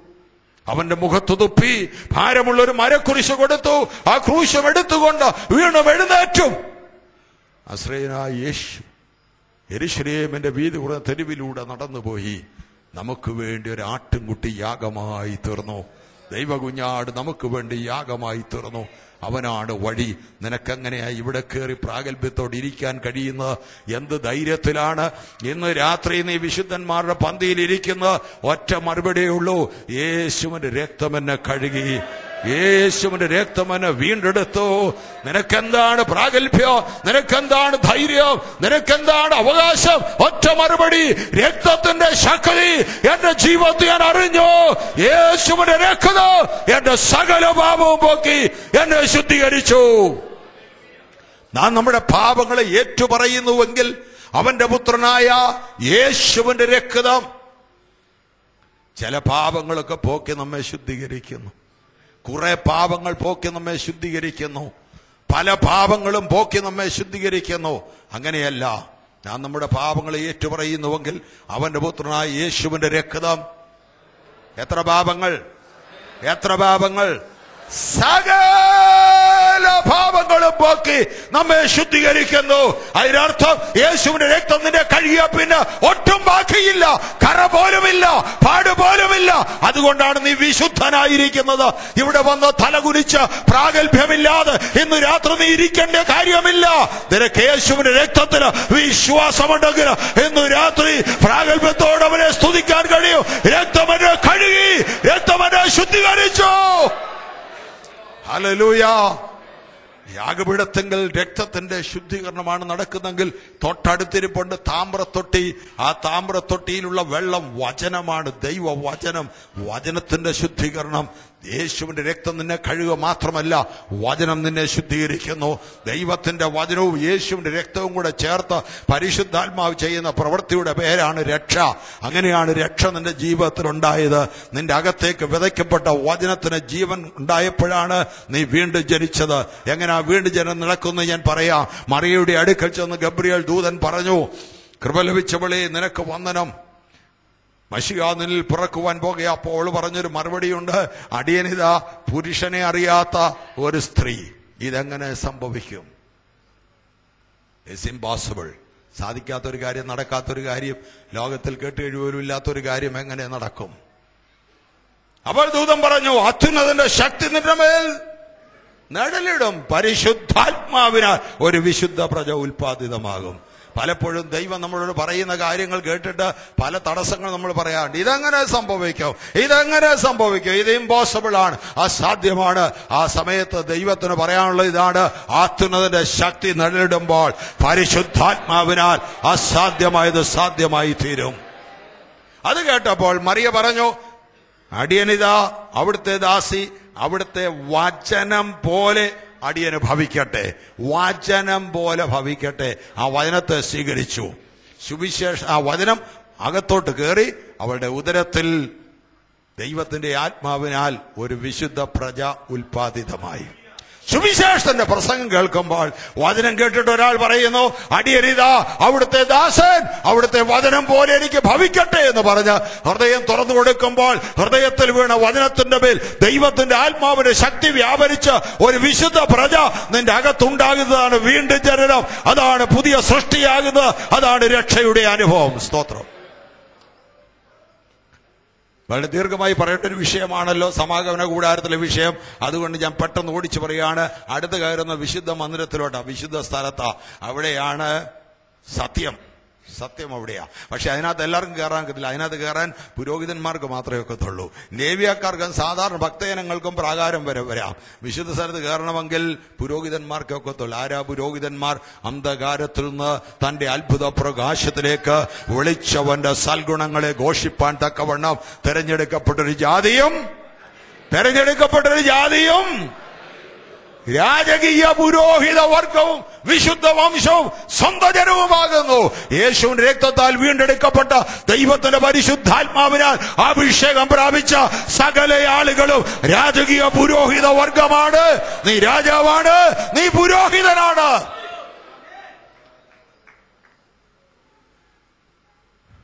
പഴയ നിയമ പൗരോഹിത്യം ഇന്നില്ല. ഇന്നുള്ളത് മൽക്കിസദേക്കിന്റെ വിധത്തിൽ എന്നേക്കും പുരോഹിതനായ യേശു ക്രിസ്തുവിന്റെ പൗരോഹിത്യമാണ് ലേവ്യ പൗരോഹിത്യം മാറിപ്പോയി പഴയ പൗരോഹിത്യം മാറിപ്പോയി. യേശു ക്രിസ്തുവിലൂടെയുള്ള പുതിയ പൗരോഹിത്യം. അതിനെക്കുറിച്ച് മൂന്ന് ഭാഗങ്ങളിൽ കാണാൻ കഴിയും. ഒന്ന് ഉൽപ്പത്തി പുസ്തകം പതിനാലാം അധ്യായത്തിൽ ആദ്യമായിട്ട് ഒരു തന്റെ പേര് കാണുന്നു മൽക്കീസദേക്ക്. ശാലയൻ രാജാവും അത്യുന്നതനായ ദൈവത്തിന്റെ പുരോഹിതനും. യുദ്ധം ജയിച്ചു വരുന്ന അബ്രഹാമിനെ അപ്പവും വീഞ്ഞുമായിട്ട് എതിരേറ്റിയെന്ന് അത്യുന്നതനായ ദൈവത്താൽ സ്വർഗത്തിനും ഭൂമിക്കും നാഥനായ അത്യുന്നതനായ ദൈവത്താൽ അബ്രഹാം അനുഗ്രഹിക്കപ്പെടുമാറാകട്ടെ എന്ന് പറഞ്ഞപ്പോൾ അബ്രഹാമിന് സകലത്തിലും ദശാംശം കൊടുത്തു. അവൻ രാജാവും പുരോഹിതനുമായിരുന്നു. മൽക്കിസദേക്ക്. ബി സി രണ്ടായിരം ആണ്ടിലാണ് പിന്നെ ആയിരം കൊല്ലം അവനെ കുറിച്ച് ഒന്നും പറയുന്നില്ല. മീസി ആയിരം ആണ്ടിൽ നൂറ്റിപ്പത്താം സങ്കീർത്തനത്തിൽ ദാവീദ് എഴുതി നീ മൽക്കിസദേക്കിന്റെ രൂപത്തിൽ എന്നേക്കും പുരോഹിതൻ എന്ന് യഹോവ സത്യം ചെയ്ത് അനുഭവിക്കുകയുമില്ല ആരോടാ? യഹോവ എന്റെ കർത്താവിനോട് അള്ളി ചെയ്ത് ഞാൻ നിന്റെ ശത്രുക്കളെ നിന്റെ പാതപീഠമാക്കുവോളോ. നീ എന്റെ വലത്തു ഭാഗത്തിരിക്കുക. യഹോവയും കർത്താവും പിതാവായ ദൈവവും പുത്രനും. പുത്രനോട് പറയുകയാണ് ഞാൻ നിന്റെ ശത്രുക്കളെ നിന്റെ പാതപിടമാക്കുവോളും നീ എന്റെ വലത്ത് ഭാഗത്തിരിക്കുക പുത്രനോട് പറയുന്നു നീ മൽക്കുസദേക്കിന്റെ വിധത്തിൽ എന്നേക്കും പുരോഹിതൻ യഹോവ സത്യം ചെയ്ത് അനുഭവിക്കുകയുമില്ല പിന്നെ ആയിരം കൊല്ലം മൽക്കിസദേക്കിനെ കാണാനില്ല. ആയിരം കൊല്ലം കഴിഞ്ഞപ്പോൾ എബ്രാഹിം ലേഖനത്തിൽ പറഞ്ഞു മൽക്കി സദേക്കന്റെ ക്രമപ്രകാരം യേശു ക്രിസ്തു മഹാപുരോഹിതനായിരിക്കുന്നു. രാജാവും പുരോഹിതനുമായി പഴയ നിയമത്തിൽ മൽക്കിസദേക്കേ ഉള്ളൂ. പുതിയ നിയമത്തിൽ യേശു ക്രിസ്തുവാണ് രാജാവും പുരോഹിതൻ ഇത് മാറുന്നൊരു രംഗമുണ്ട്. പഴയ നിയമത്തിലെ മഹാപുരോഹിതൻ യേശുവിനെ വിസ്തരിക്കാനിരിക്കുകയാണ്. യേശു കൈയെല്ലാം കെട്ടിക്കൊണ്ടുവന്ന് യേശുവിനെ അവിടെ കൊണ്ട് നിർത്തിയിരിക്കുക. ഓരോ കള്ളസാക്ഷി എഴുന്നേറ്റ് ഓരോന്നൊക്കെ പറയുന്ന ആളുകൾ ചോദിക്കുന്നത് യേശു ഒന്നും ഒരു വാക്കുത്തരം പറഞ്ഞില്ല. ഒരു വാക്ക് ഉത്തരം പറയാതിരുന്നപ്പോൾ അതുവരെ അവിടെ ഇരുന്ന മഹാപുരോഹിതൻ എഴുന്നേറ്റ് എന്നൊരു ചോദ്യം ചോദിച്ചു. നീ ജീവനുള്ള ദൈവത്തിന്റെ പുത്രനായ ക്രിസ്തു തന്നെയോ? പറക. എന്ന് ദൈവത്തെ കൊണ്ട് ആണയിട്ടുകൊണ്ട് ഞാൻ നിന്നോട് ചോദിക്കുന്നു. ദൈവത്തെ കൊണ്ട് ആണയിട്ടുകൊണ്ട് ചോദിച്ചാൽ യഹൂദന് മറുപടി പറയാൻ ബാധ്യസ്ഥനാണ് അതുവരെ തലകുനിച്ചു നിന്ന് യേശു തലപൊക്കിയിട്ട് മറുപടി പറഞ്ഞു. യെസ് ഐ ആം ഇനി മനുഷ്യപുത്രൻ ദൈവത്തിന്റെ വലത്തു ഭാഗത്തിരിക്കുന്നു. ആകാശമേങ്ങളെ വാഹനമാക്കി വരുന്നതും കാണും. ഒരു ചോദ്യമേ ചോദിച്ചുള്ളൂ. നീ ജീവനുള്ള ദൈവത്തിന്റെ പുത്രനായ ക്രിസ്തു തന്നെയോ? ഏസറിനോ പറയേണ്ടതിന് പകരം മൂന്നുത്തരം യേശു പറഞ്ഞു. മൂന്നുത്തരം. ഒന്ന് അയാം ഞാനാകുന്നു. രണ്ട് ഇനി മനുഷ്യപുത്രൻ ദൈവത്തിന്റെ വലത്തു ഭാഗത്തിരിക്കും. മൂന്ന് അവൻ ആകാശമേഘങ്ങളെ വാഹനമാക്കി വരും. മൂന്നുത്തരം. എന്നാ ഈ മൂന്നുത്തരത്തിന്റെ അർത്ഥം പറയാം? ഞാനാകുന്നു എന്ന് പറഞ്ഞാൽ ഭാഷയിലുള്ള അർത്ഥമല്ല യഹൂദന്മാർക്ക് മനസ്സിലാകുന്നത്. ഈ ചോദ്യം പണ്ടൊരാൾ ചോദിച്ച ഈ ഇപ്പോൾ യേശുവിനോട് ചോദിച്ച ഈ പുരോഹിതന്റെ വല്യപ്പൻ മോശ മരുഭൂമിയിൽ മുൾപ്പുഴപ്പിൽ തീ ജ്വലിച്ചപ്പോഴ് മിസ്രൈമിലേക്ക് പോകാൻ പറഞ്ഞപ്പോഴ് അവൻ ചോദിച്ചു ഏത് ദൈവം എന്നെ അയച്ചെന്ന് പറയണം? നിന്റെ പേരെന്താ? മറുപടി ഞാനാകുന്നവൻ ഞാനാകുന്നു. പ്രൈസ് തലോൾ. യേശു പറഞ്ഞതിന്റെ അർത്ഥം ഇതാ. നിനക്കെന്നെ മനസ്സിലായില്ല ഞാൻ ആരാണെന്ന് മനസ്സിലായില്ലല്ലേ? നിന്റെ വല്യപ്പൻ മോശയോട് ചോദിച്ചാവും പറയും ഞാൻ ആരാണെന്ന്? ഞാനാകുന്നവൻ ഞാനാകുന്നവനാ നിന്റെ മുമ്പിൽ നിൽക്കുന്നത്. രണ്ടാമത്തെ ഉത്തരം ഇതാണ്. ദൈവത്തിന്റെ വലത്ത് ഭാഗത്ത് നൂറ്റിപ്പത്താം സങ്കീർത്തനത്തിൽ യഹോവായ എന്റെ കർത്താവിനോട് അള്ളി ചെയ്യുന്നു. നീ എന്റെ വലത്ത് ഭാഗത്തിരിക്കുക. ദൈവത്തിന്റെ വലത്ത് ഭാഗത്തിരിക്കുന്ന മൽക്കിസദേക്കിന്റെ വിധത്തിൽ എന്തേക്കുമുള്ള പുരോഹിതൻ ഞാനാണ്. ഞാൻ പുരോഹിതൻ മാത്രമല്ല. ആകാശമേഘങ്ങളെ വാഹനമാക്കി വരുവാനുള്ള രാജാക്കന്മാരുടെ രാജാവ് ഞാനാണ്. ഇത്രയും കേട്ട് കഴിഞ്ഞപ്പോൾ എന്ത് ചെയ്യണം മഹാപുരോഹിതൻ? ഇത്രയും കേട്ട് കഴിഞ്ഞപ്പോൾ മഹാപുരോഹിതൻ ചെയ്ത കാര്യം കുനിഞ്ഞ് അദ്ദേഹത്തിന്റെ അങ്കി ഔദ്യോഗിക അങ്കി അറ്റം പിടിച്ചു പൊക്കി വലിച്ചങ്ങ് കയറി പഴയ നിയമത്തിൽ കൽപ്പന കൊടുത്തിട്ടുണ്ട് അഭിഷേക തൈലം തലയിൽ വീണ പുരോഹിതൻ തന്റെ വസ്ത്രം കീറുകയോ തലമുടി പിച്ചിപ്പറിക്കുകയോ ചെയ്യരുത്.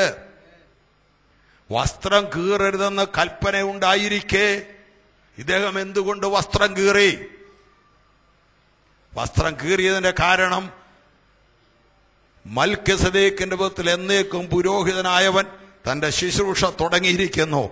അവൻ ശുശ്രൂഷ തുടങ്ങിയപ്പോൾ ലേവിയ പൗരോഹിത്യം കീറിപ്പോയിരിക്കുന്നു. ലേവിയ പൗരോഹിത്യം മാറിപ്പോയിരിക്കുന്നു. പഴയ നിയമ പൗരോഹിത്യം മാറിപ്പോയിരിക്കുന്നു. ഇതാ മൽക്ക് സദീഖിന്റെ വിധത്തിലുള്ള പൗരോഹിത്യം ആരംഭിച്ചിരിക്കുന്നു. അത് മാത്രമല്ല മാറിയത്.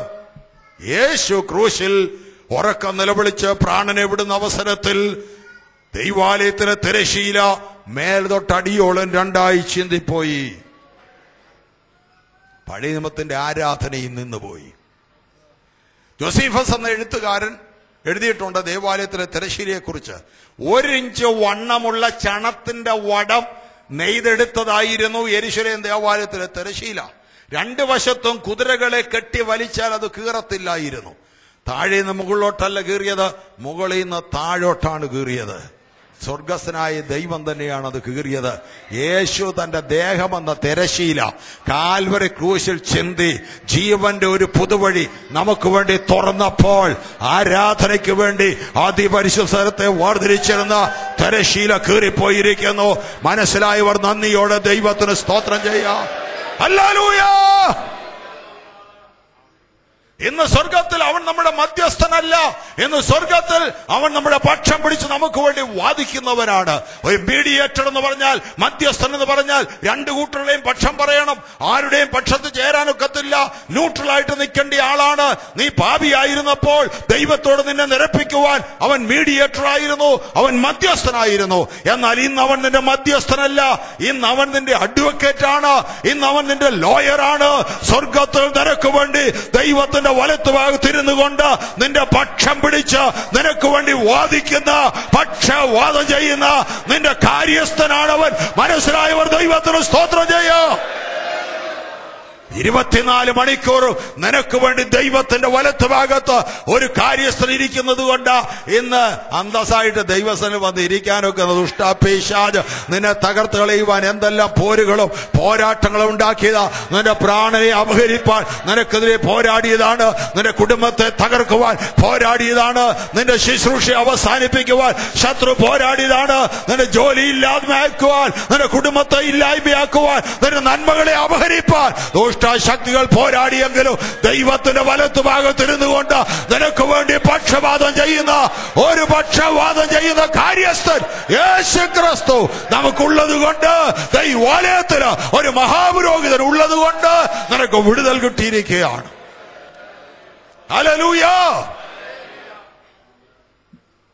യോശുവ എന്ന് പേരുള്ള പഴയ നിയമത്തിലെ ഒരു പുരോഹിതൻ ദൈവസനെ ശുശ്രൂഷിക്കാൻ ചെന്നപ്പോൾ മുഷിഞ്ഞ വസ്ത്രം ധരിച്ചുകൊണ്ട് ശുശ്രൂഷിച്ച കാര്യം കുറ്റപ്പെടുത്തുവാൻ സാത്താൻ ദൈവത്തിന്റെ അടുക്കൽ ചെന്നു വന്ന് സക്രിയാപ്രവണത്തിൽ വായിക്കുന്നു. സാത്താൻ ദൈവത്തിന്റെ അടുക്കൽ ചെന്ന് പറഞ്ഞു യോശുവ മുഷിഞ്ഞ വസ്ത്രം ധരിച്ചുകൊണ്ട് നിന്റെ സന്നിധിയിൽ ശുശ്രൂഷിക്കുകയാണ്. നീ ധരിക്കുന്ന വസ്ത്രത്തെ വരെ നോക്കി അതിനെ കുറ്റപ്പെടുത്തുന്ന ദുഷ്ടശക്തിയാണ്. സാത്താൻ ദൈവത്തിന്റെ അടുക്കൽ ചെന്നുണ്ടോ മുഷിഞ്ഞ വസ്ത്രം. നിന്നോടൊരു ബഹുമാനം ഉണ്ടായിരുന്നെങ്കിൽ നല്ല ഉടുപ്പൊക്കെ തേച്ചിട്ടുണ്ട് വരത്തില്ലേ? നോയിക്ക് മുഷിഞ്ഞ വസ്ത്രമായിട്ട് ഇന്നും ദൈവസേന വന്നിരിക്കുന്നുണ്ടോ എന്നും പറഞ്ഞ് കുറ്റം പറയുക. എന്താ സംഭവിച്ചെന്നറിയാവോ? ദൈവം പറഞ്ഞ മറുപടി. അവൻ തീയിൽ നിന്ന് വലിച്ചെടുത്തൊരു ആ ബാബേൽ പ്രവാസിന്റെ തീയിൽ നിന്ന് മടങ്ങി വന്നവൻ ആ തീക്കകത്തുനിന്ന് വലിച്ചെടുത്ത കൊള്ളിയെ ചിലപ്പം കരി കാണും. നിന്റെ പശ്ചാത്തലം ദൈവത്തിനറിയാം. എവിടെ നിന്ന് നിന്നെ വലിച്ചെടുത്തതും ദൈവത്തിനറിയാം. ദൈവം പറഞ്ഞ അവൻ തീയിൽ നിന്ന് വലിച്ചെടുത്തൊരു കൊള്ളിയാണ്. എന്ന് മാത്രമല്ല ദൈവം പറയുകയാണ് സാത്താനെ യഹോവ നിന്നെ ഭത്സിക്കുന്നു. അടുത്തുനിന്ന് ദൂതനോട് പറഞ്ഞു യോശുവയുടെ മുഷിഞ്ഞ വസ്ത്രം മാറ്റി അവൻ ഉത്സവ വസ്ത്രം കൊടുക്കുക. സാത്താൻ അപവാദം പറഞ്ഞോണ്ട് എന്ത് പറ്റി എന്ത് പറ്റി? സാത്താൻ ഒരു മത്സരം കിട്ടി യോശുവായിക്ക് ഒരു ഉത്സവ വസ്ത്രവും കിട്ടി. പ്രൈസ് ദ എന്ത് താഴ്ച നിന്നെ കുറിച്ച് പറയുന്നു ദൈവം അത് മാറ്റാൻ പോകുക ഓ ഹാലലൂയ നിന നിനക്കെതിരെ ശത്രു എന്താണോ താഴ്ത്തി പറയുന്നത് അതിനെ ദൈവം ഉയർച്ചയാക്കി മാറ്റുവാൻ പോകുകയാണ്. ഹാലലൂയ നിനക്ക് വേണ്ടി പക്ഷവാദം ചെയ്യുവാൻ ഒരു മഹാപുരോഹിതനുണ്ട്. സ്തോത്രം. അകത്തോട് കയറിയാലിരിക്കുന്ന മൂന്ന് ഉപകരണങ്ങളുണ്ട്.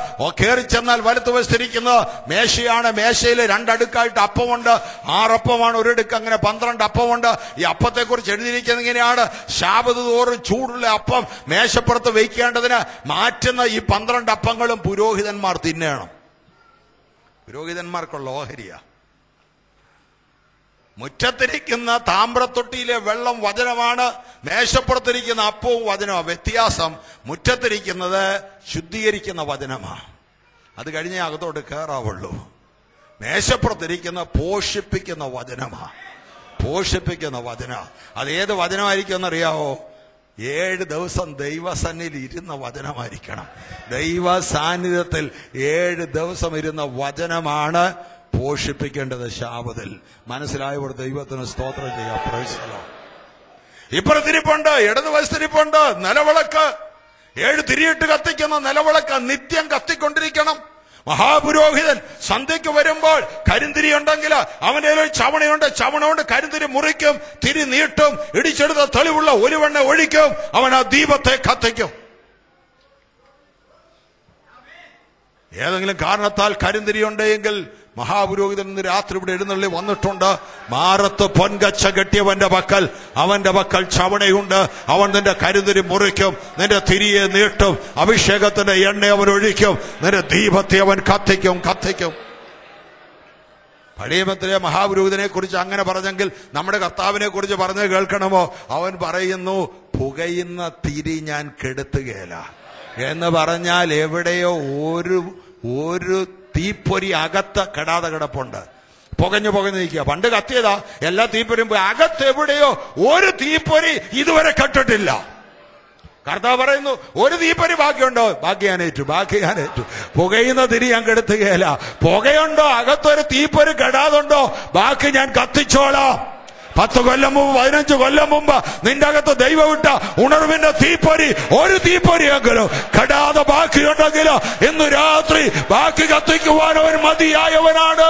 അവൻ പുകയുന്ന തിരിയെ കെടുത്തു കളയയില്ല അവൻ ചതഞ്ഞ ഓട ഒടിക്കുകയില്ല. നിന്റെ സാക്ഷ്യം മറ്റുള്ളവരുടെ സുവിശേഷം അറിയിക്കുക ദൂതറിയിക്കുന്നതാണ് ഈ വിളക്ക് കാണിക്കുന്നത്. ആ പ്രകാശം നൽകണം. തൊട്ട് മുമ്പിലിരിക്കുന്നത് ധൂപപീഠമാണ് ധൂപപീഠം. ധൂപപീഠം പ്രാർത്ഥനയെ കാണിക്കുകയാണ്. മുട്ടുകുത്തന്റെ സ്ഥലമാണത്. വിശുദ്ധ സ്ഥലത്ത് നീ മുട്ടുകുത്തണം. നിന്റെ സത്യത്തിന്റെ ഭാഗമാണത്. അവിടെ നീ മുട്ടുകുത്തണം. അവിടെ ധൂപപീഠത്തിലുള്ള ധൂപവർഗം നിന്റെ പ്രാർത്ഥനയുടെ വിഷയമാണ്. പ്രാർത്ഥനയ്ക്ക് എന്ത് സംഭവിക്കുന്നു എന്ന് വളരെ പെട്ടെന്ന് ഞാൻ പറയാം. പ്രാർത്ഥനയ്ക്ക് എന്ത് സംഭവിക്കുന്നു? ദൈവമക്കളുടെ പ്രാർത്ഥനയ്ക്ക് എന്ത് സംഭവിക്കുന്നു വെളിപ്പാടിൽ എഴുതിയിട്ടുണ്ട്. വെളിപ്പാടിൽ ഇങ്ങനെ എഴുതിയിരിക്കുന്ന. ഭൂമിയിൽ ദൈവമക്കൾ പ്രാർത്ഥിക്കുന്ന പ്രാർത്ഥനയല്ല. ദൂതൻ ദൈവത്തിന്റെ അടുക്കൽ ചെന്നപ്പോൾ കൊണ്ടുവന്നപ്പോൾ ദൈവം പറയുക അതിനകത്തോട്ട് യാഗപിടത്തിലെ തീക്കല്ലെടുത്തിടാൻ പറഞ്ഞു. അങ്ങനെ യാഗപിടത്തിലെ തീക്കനൽ നിന്റെ പ്രാർത്ഥനയ്ക്കകത്തോട്ടിട്ടു അതിനുശേഷം ദൈവം പറഞ്ഞു ഈ സ്വർണപീഠത്തിരിക്കുന്ന സുഗന്ധ വസ്തുക്കൾ ഇടാൻ പറഞ്ഞു. അങ്ങനെ സ്വർണപീഠത്തിരുന്ന സുഗന്ധ വസ്തുക്കളും സ്വർഗത്തിലെ യാഗപിടത്തിലുള്ള തീക്കനൽ വിട്ടിട്ട് നിന്റെ പ്രാർത്ഥന ധൂപകലശത്തിലാക്കി. അതിനുശേഷം ദൈവം ദൂതനോട് പറഞ്ഞു ഭൂമിയിലേക്ക് വലിച്ചെറിയുക. ഇവിടുന്ന് അങ്ങോട്ട് പ്രാർത്ഥിച്ച പ്രാർത്ഥന തിരിച്ചിങ്ങോട്ട് എറിയുക. എറിഞ്ഞിട്ട് എന്ത് പറ്റി? എറിഞ്ഞപ്പോൾ ഭൂകമ്പമുണ്ടായി എറിഞ്ഞപ്പോൾ മിന്നലുണ്ടായി എറിഞ്ഞപ്പോൾ ഇടിനാദമുണ്ടായി എറിഞ്ഞപ്പോൾ അവിടെ അന്തരീക്ഷത്തിൽ ചലനങ്ങൾ ഉണ്ടായി എവിടേക്കാ എറിഞ്ഞത്? അന്തരീക്ഷത്തിലേക്ക് പൈശാചിക മണ്ഡലങ്ങളിലേക്ക് നിരക്കെതിരെയുള്ള പോരുകളിലേക്ക് പോരാട്ടങ്ങളിലേക്ക് നിന്റെ പ്രാർത്ഥനയ്ക്കകത്ത് സ്വർഗത്തിലെ യാഗപടത്തിലെ തീക്കല്ലിട്ടുകൊണ്ട് സ്വർഗത്തിലെ സുഗന്ധ വസ്തുക്കൾ ഇട്ടുകൊണ്ട് അവിടേക്ക് വലിച്ചെറിഞ്ഞിരിക്കുകയാണ് നീ ഇവിടെ ഇരുന്ന് പ്രാർത്ഥിക്കുമ്പോൾ നീ ഇവിടെ ഇരുന്ന് പ്രാർത്ഥിക്കുമ്പോൾ അത് വെറുതെയാകുന്നില്ല. വെറുതെയാകും ധരിക്കണ്ട. അത് കളക്ട് ചെയ്യുവാൻ സ്വർഗത്തിൽ ദൈവത്തിന്റെ ക്രമീകരണമുണ്ട്. അതിന്റെ മേൽ ശക്തി പകരുവാൻ സ്വർഗത്തിൽ ക്രമീകരണങ്ങളുണ്ട്. നിന്റെ പ്രാർത്ഥന ദൈവസന്നിലെത്തുന്നു. അതിന് മറുപടിയുണ്ട്. അത് അത്ഭുതം ചെയ്യുന്നതാണ്. നിന്റെ പ്രാർത്ഥനയ്ക്ക് ദൈവം മറുപടി നൽകുന്നവനാണ്. പ്രൈസ് ദ ലോർഡ് തിരശീലയാണ് തിരശീല കീറിപ്പോയി. അതിനകത്തോട്ട് കടക്കാം. അതിനകത്തിരിക്കുന്നത് ദൈവത്തിന്റെ പട്ടവും അതിന്റെ മുകളിൽ കൃപാസനവുമാണ്. കൃപാസനം.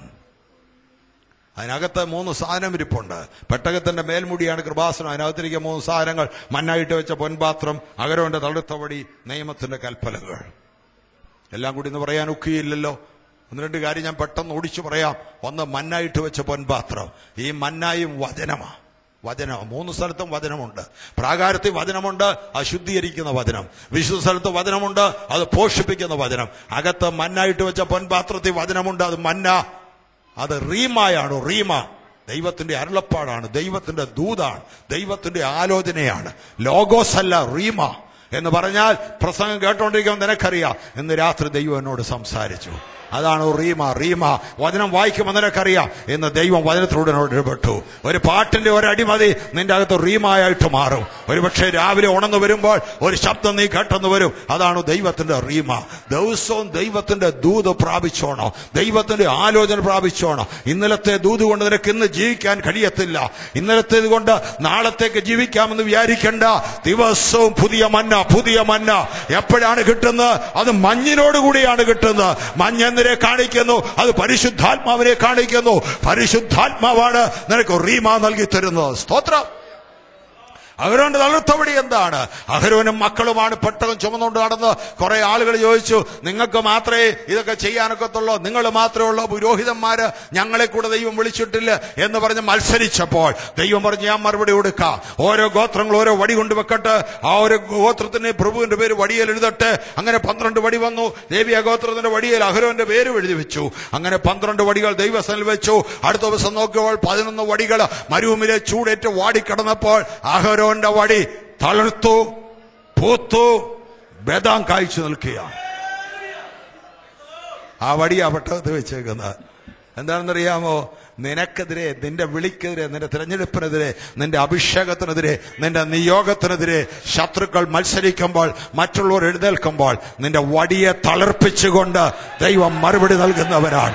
ആ ദൈവം നിന്റെ ശുശ്രൂഷയെ തളർപ്പിക്കും. ദൈവം നിന്റെ കുടുംബത്തെ തളർപ്പിക്കും. ദൈവം നിന്റെ കുഞ്ഞുങ്ങളെ തളർപ്പിക്കും. ദൈവം നിന്റെ നന്മയെ തളർപ്പിക്കും. ദൈവം നിന്റെ സഭയെ തളർപ്പിക്കും. ദൈവം നിന്റെ ബിസിനസിനെ തളർപ്പിക്കും. ദൈവത്തിന്റെ ജോലിയെ തളർപ്പിക്കും. നിനക്കെതിരെ ശത്രുക്കൾ എഴുന്നേൽക്കുമ്പോൾ ദൈവം തളർപ്പിച്ചുകൊണ്ട് മറുപടി നൽകുന്ന ദൈവമാണ്. അനുഭവമുള്ളവർ നന്ദിയോടെ ദൈവത്തിന് സ്തോത്രം ചെയ്യോ.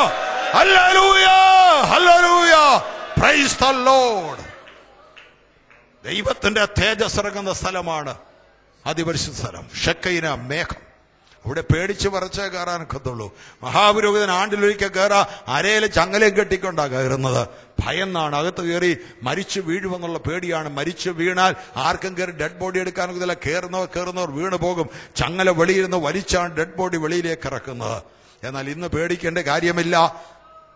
അതുകൊണ്ട് തത്സമയത്ത് സഹായത്തിനുള്ള കൃപ ലഭിക്കേണ്ടതിന് ധൈര്യത്തോടെ ധൈര്യത്തോടെ ധൈര്യത്തോടെ കൃപാസനം വരെ അടുത്ത് ചെല്ലുക.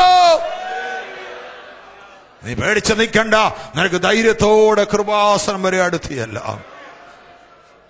നിന്റെ ജീവിതത്തിലെ ഏറ്റവും ബുദ്ധിമുട്ടുള്ള അവസരത്തിൽ ഏറ്റവും വേദനയുള്ള അവസരത്തിൽ എന്ത് ചെയ്യണമെന്നറിയാതെ മനസ്സ് ഭാരപ്പെടുമ്പോൾ നിന്റെ മുറിക്കകത്ത് കയറി മുട്ടിന്മേൽ വീണുകൊണ്ട് നീ പ്രാർത്ഥിക്കുമ്പോൾ നീ കൃപാസനത്തെ തൊട്ടിരിക്കുക.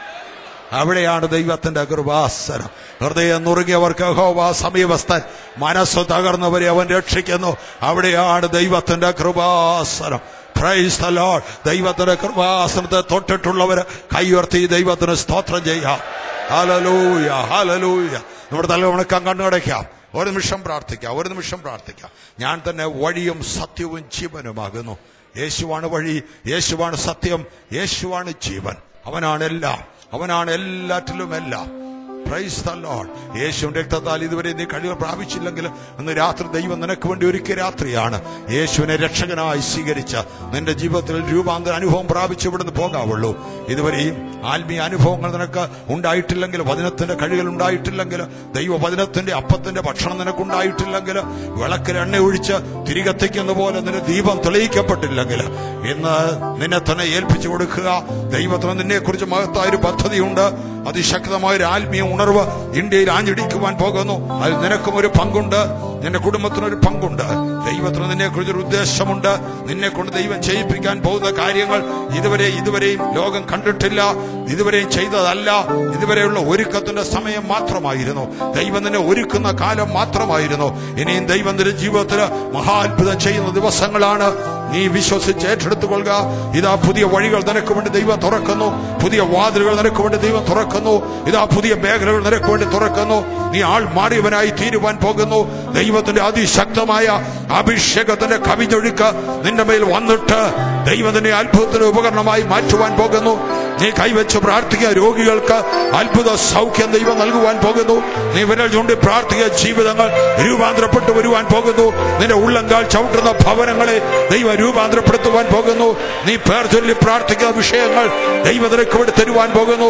ദുഷ്ട ശക്തികൾ നിനക്കെതിരെ വാതുറക്കുന്നെങ്കിലും പൈശാചിക ശക്തികൾ നിനക്കെതിരെ ഉഗ്രമായി പോരാടുന്നെങ്കിലും ജയത്തിന്റെ ആരോ ഉയർത്തി ജയത്തിന്റെ ഘോഷം മുഴക്കി ജയത്തിന്റെ കൊടി ഉയർത്തി ശത്രുവിനെ കാൽക്കിഴെ ചതയ്ക്കുവാൻ ദൈവത്തിനെ അഭിഷേകം ചെയ്തിരിക്കുന്നു അതിനുള്ള നിയോഗം ദൈവം നിനക്ക് തന്നിരിക്കുന്നു അതിനുള്ള വിളി ദൈവം നിനക്ക് തന്നിരിക്കുന്നു അതിനുള്ള ശക്തി ദൈവം നിന്റെ പേര് പകർന്നിരിക്കുന്നു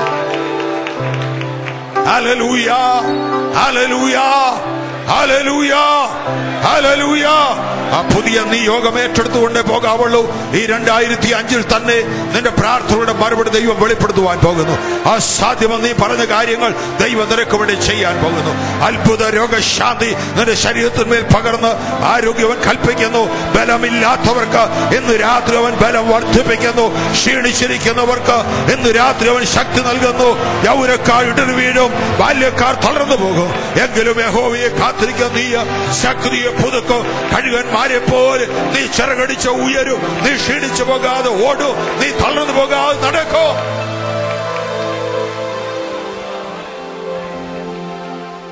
നിനക്കെതിരെ പോരാടുന്നവർ നാസ്തിയായി തീരും. അവർ ശൂന്യമായി തീരും. നീ ഭയപ്പെടണ്ട.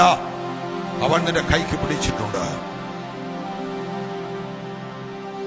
ഈ തലമുറയിൽ ദൈവത്തിന്റെ മഹത്വം വെളിപ്പെടുത്തുവാൻ ദൈവത്തിന്റെ ശക്തി വെളിപ്പെടുത്തുവാൻ ദൈവത്തിന്റെ അത്ഭുതം വെളിപ്പെടുത്തുവാൻ.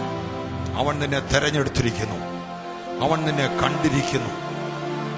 ദുഷ്ട ശത്രുവിന്റെ പോരുകളുടെ മുമ്പിൽ നീ മടിച്ചു നിൽക്കാതെ മടുത്തു നിൽക്കാതെ പേടിച്ചു നിൽക്കാതെ ദൈവത്തിന്റെ കൃപാവരങ്ങൾ നീ ജ്വലിപ്പിച്ചു കൊള്ളുക നിന്റെ മേൽ പാടുന്നിരിക്കുന്ന ദൈവത്തിന്റെ കൃപാവരങ്ങൾ നീ ജ്വലിപ്പിച്ചു കൊള്ളുക ദൈവം നിനക്ക് പ്രാർത്ഥന വരം തന്നിട്ടുണ്ട്. നീ പ്രാർത്ഥിച്ചു കൊള്ളുക ദൈവം നിനക്ക് രോഗശാന്തി വരം തന്നിട്ടുണ്ട്. രോഗികൾക്ക് വേണ്ടി പ്രാർത്ഥിച്ചു കൊള്ളുക. ദൈവം നിനക്ക് പ്രവചനത്തിന്റെ ദൂത് തന്നിട്ടുണ്ട്. നീ പ്രവചിച്ചു കൊള്ളുക. ദൈവം നിനക്ക് വെളിപ്പാടുകൾ തരുന്നു. ദൈവം നിനക്ക് ദർശനങ്ങൾ തരുന്നു.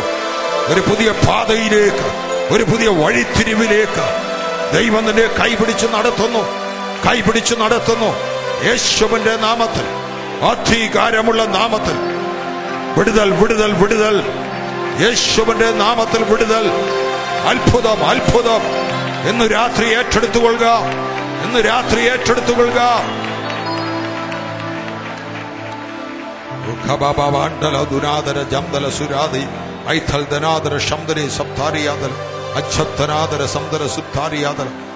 മുനാദര ശംബല ദുരാദല മനാദര സത്തര ഏജുരി അഭിഷേകത്തിന്റെ ഇരട്ടി പങ്ക് അഭിഷേകത്തിന്റെ ഇരട്ടി പങ്ക് ഇരട്ടി പങ്ക് ഇരട്ടി പങ്ക്. ഇന്ന് രാത്രി നിന്റെ മേൽ പകരുന്നു പകരുന്നു. അഭിഷേകത്തിന്റെ ഇരട്ടി പങ്ക്. ഇന്ന് രാത്രി നിന്റെ മേൽ പകരുന്നു പകരുന്നു പകരുന്നു. ഓ റബബ ഹൈദൽ ദരാദല. ഓ റബബ ഷണ്ടല ഹൈഡൽ ദാരാദര സുന്ദരേ സുത്താരിയാദല യേശുവിന്റെ നാമത്തിൽ യേശുവിന്റെ നാമത്തിൽ. ദൈവ തേജസ് ദൈവ തേജസ് നിന്റെ മേൽ വരുന്നു. ഇന്ന് രാത്രി ദൈവത്തിന്റെ തേജസ് നിന്റെ മേൽ പെയ്തിറങ്ങുന്നു പെയ്തിറങ്ങുന്നു. നിന്റെ മേൽ ദൈവ തേജസ് ഇന്ന് രാത്രി പെയ്തിറങ്ങുന്നു പെയ്തിറങ്ങുന്നു പെയ്തിറങ്ങുന്നു. ദൈവദേശം നിന്റെ മേൽ പെയ്തിറങ്ങുന്നു. ഏറ്റെടുത്തുകൊള്ളുക. അത്ഭുത രോഗശാന്തി നിന്റെ മേൽ പകരുന്നു പകരുന്നു. ഉച്ചമുള്ള ഉള്ളംകാൽ വരെ വ്യാപരിക്കുന്ന ദൈവത്തിന്റെ വ്യാപാര ശക്തി നിന്റെ നാടി ഞരമ്പുകളിൽ അസ്ഥി പഞ്ചരങ്ങളിൽ മാംസാപേശികളിൽ ആന്തരിക അവയവങ്ങളിൽ പോരാടി നിൽക്കുന്ന എല്ലാ രോഗബന്ധനങ്ങളെ തകർക്കുന്നു എല്ലാ രോഗാണുക്കളെ തകർക്കുന്നു എല്ലാ രോഗശക്തികളെ തകർക്കുന്നു ആരോഗ്യവും രോഗശാന്തി അവൻ നിനക്ക് കൽപ്പിക്കുന്നു.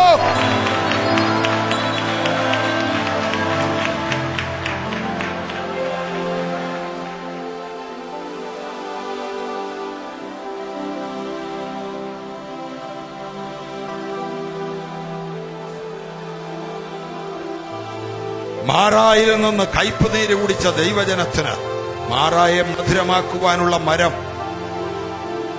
അവർ ചെന്നതിന് ശേഷമല്ല മുളപ്പിച്ചത്. അവർ ചെല്ലുന്നതിന് മുമ്പ് തന്നെ മാറായുടെ തീരത്ത് മധുരിപ്പിക്കുന്ന മരവും വളർത്തി വെച്ചിരുന്ന ദൈവം നിന്റെ ജീവിതത്തിലെ കയ്പ് നീരിന്റെ അനുഭവങ്ങളിൽ നീ കുടിക്കുന്നതിന് മുമ്പ് തന്നെ അതിനുള്ള വിടുതലും ഒരുക്കി വെച്ചിട്ടുണ്ട്. അതിനുള്ള പരിഹാരവും ഒരുക്കി വെച്ചിട്ടുണ്ട്. അതിനുള്ള വിടുതൽ ദൈവം അവിടെ വളർത്തി വെച്ചിട്ടുണ്ട്. നീ ഭയപ്പെടണ്ട ഭയപ്പെടണ്ട. നീ കയ്പ് നീര് കുടിച്ചിടത്ത് തന്നെ മധുരമുള്ള വെള്ളം ദൈവം നിന്നെ കുടിപ്പിക്കും. നിന്റെ മാറായെ തന്നെ മധുരമുള്ളതാക്കി മാറ്റും. നിന്റെ കയ്പിനെ തന്നെ മധുരിപ്പിക്കുന്നതാക്കി മാറ്റും. നിന്റെ നഷ്ടത്തെ തന്നെ ലാഭമാക്കി മാറ്റും. നിന്റെ വേദനയെ തന്നെ ആശ്വാസമാക്കി മാറ്റും. നിന്റെ താഴ്ചയെ തന്നെ ഉയർച്ചയാക്കി മാറ്റും.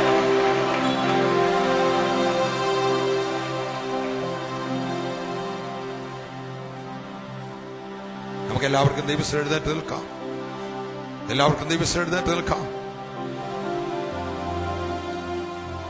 രണ്ട് കൈകളും ഉയർത്തി ദൈവത്തിന് സ്തോത്രം ചെയ്യാം. ശക്തിയോടെ ദൈവത്തിന് സ്തോത്രം ചെയ്യാം. പിന്നെയും ദൈവത്തിന് സ്തോത്രം ചെയ്യാം. അവന്റെ തിരു സാന്നിധ്യം ഇവിടെ എഴുന്നള്ളി വന്നിട്ടുണ്ട്. നിന്റെ തൊട്ടടുത്ത് നിന്റെ തൊട്ടടുത്ത് നിന്റെ കർത്താവ് നിൽപ്പുണ്ട്. നിന്റെ കർത്താവ് നിൽപ്പുണ്ട്. നിന്റെ മേൽ അവന്റെ പ്രകാശം ചുറ്റി മിന്നുന്നുണ്ട്. അവന്റെ വെളിച്ചം നിന്റെ മേൽ ചുറ്റി മിന്നുന്നുണ്ട്. എഴുന്നേറ്റ് പ്രകാശിക്ക. നിന്റെ പ്രകാശം വന്നിരിക്കുന്നു. ദൈവത്തിന്റെ തേജസ് നിന്റെ മേൽ ഉദിച്ചിരിക്കുന്നു.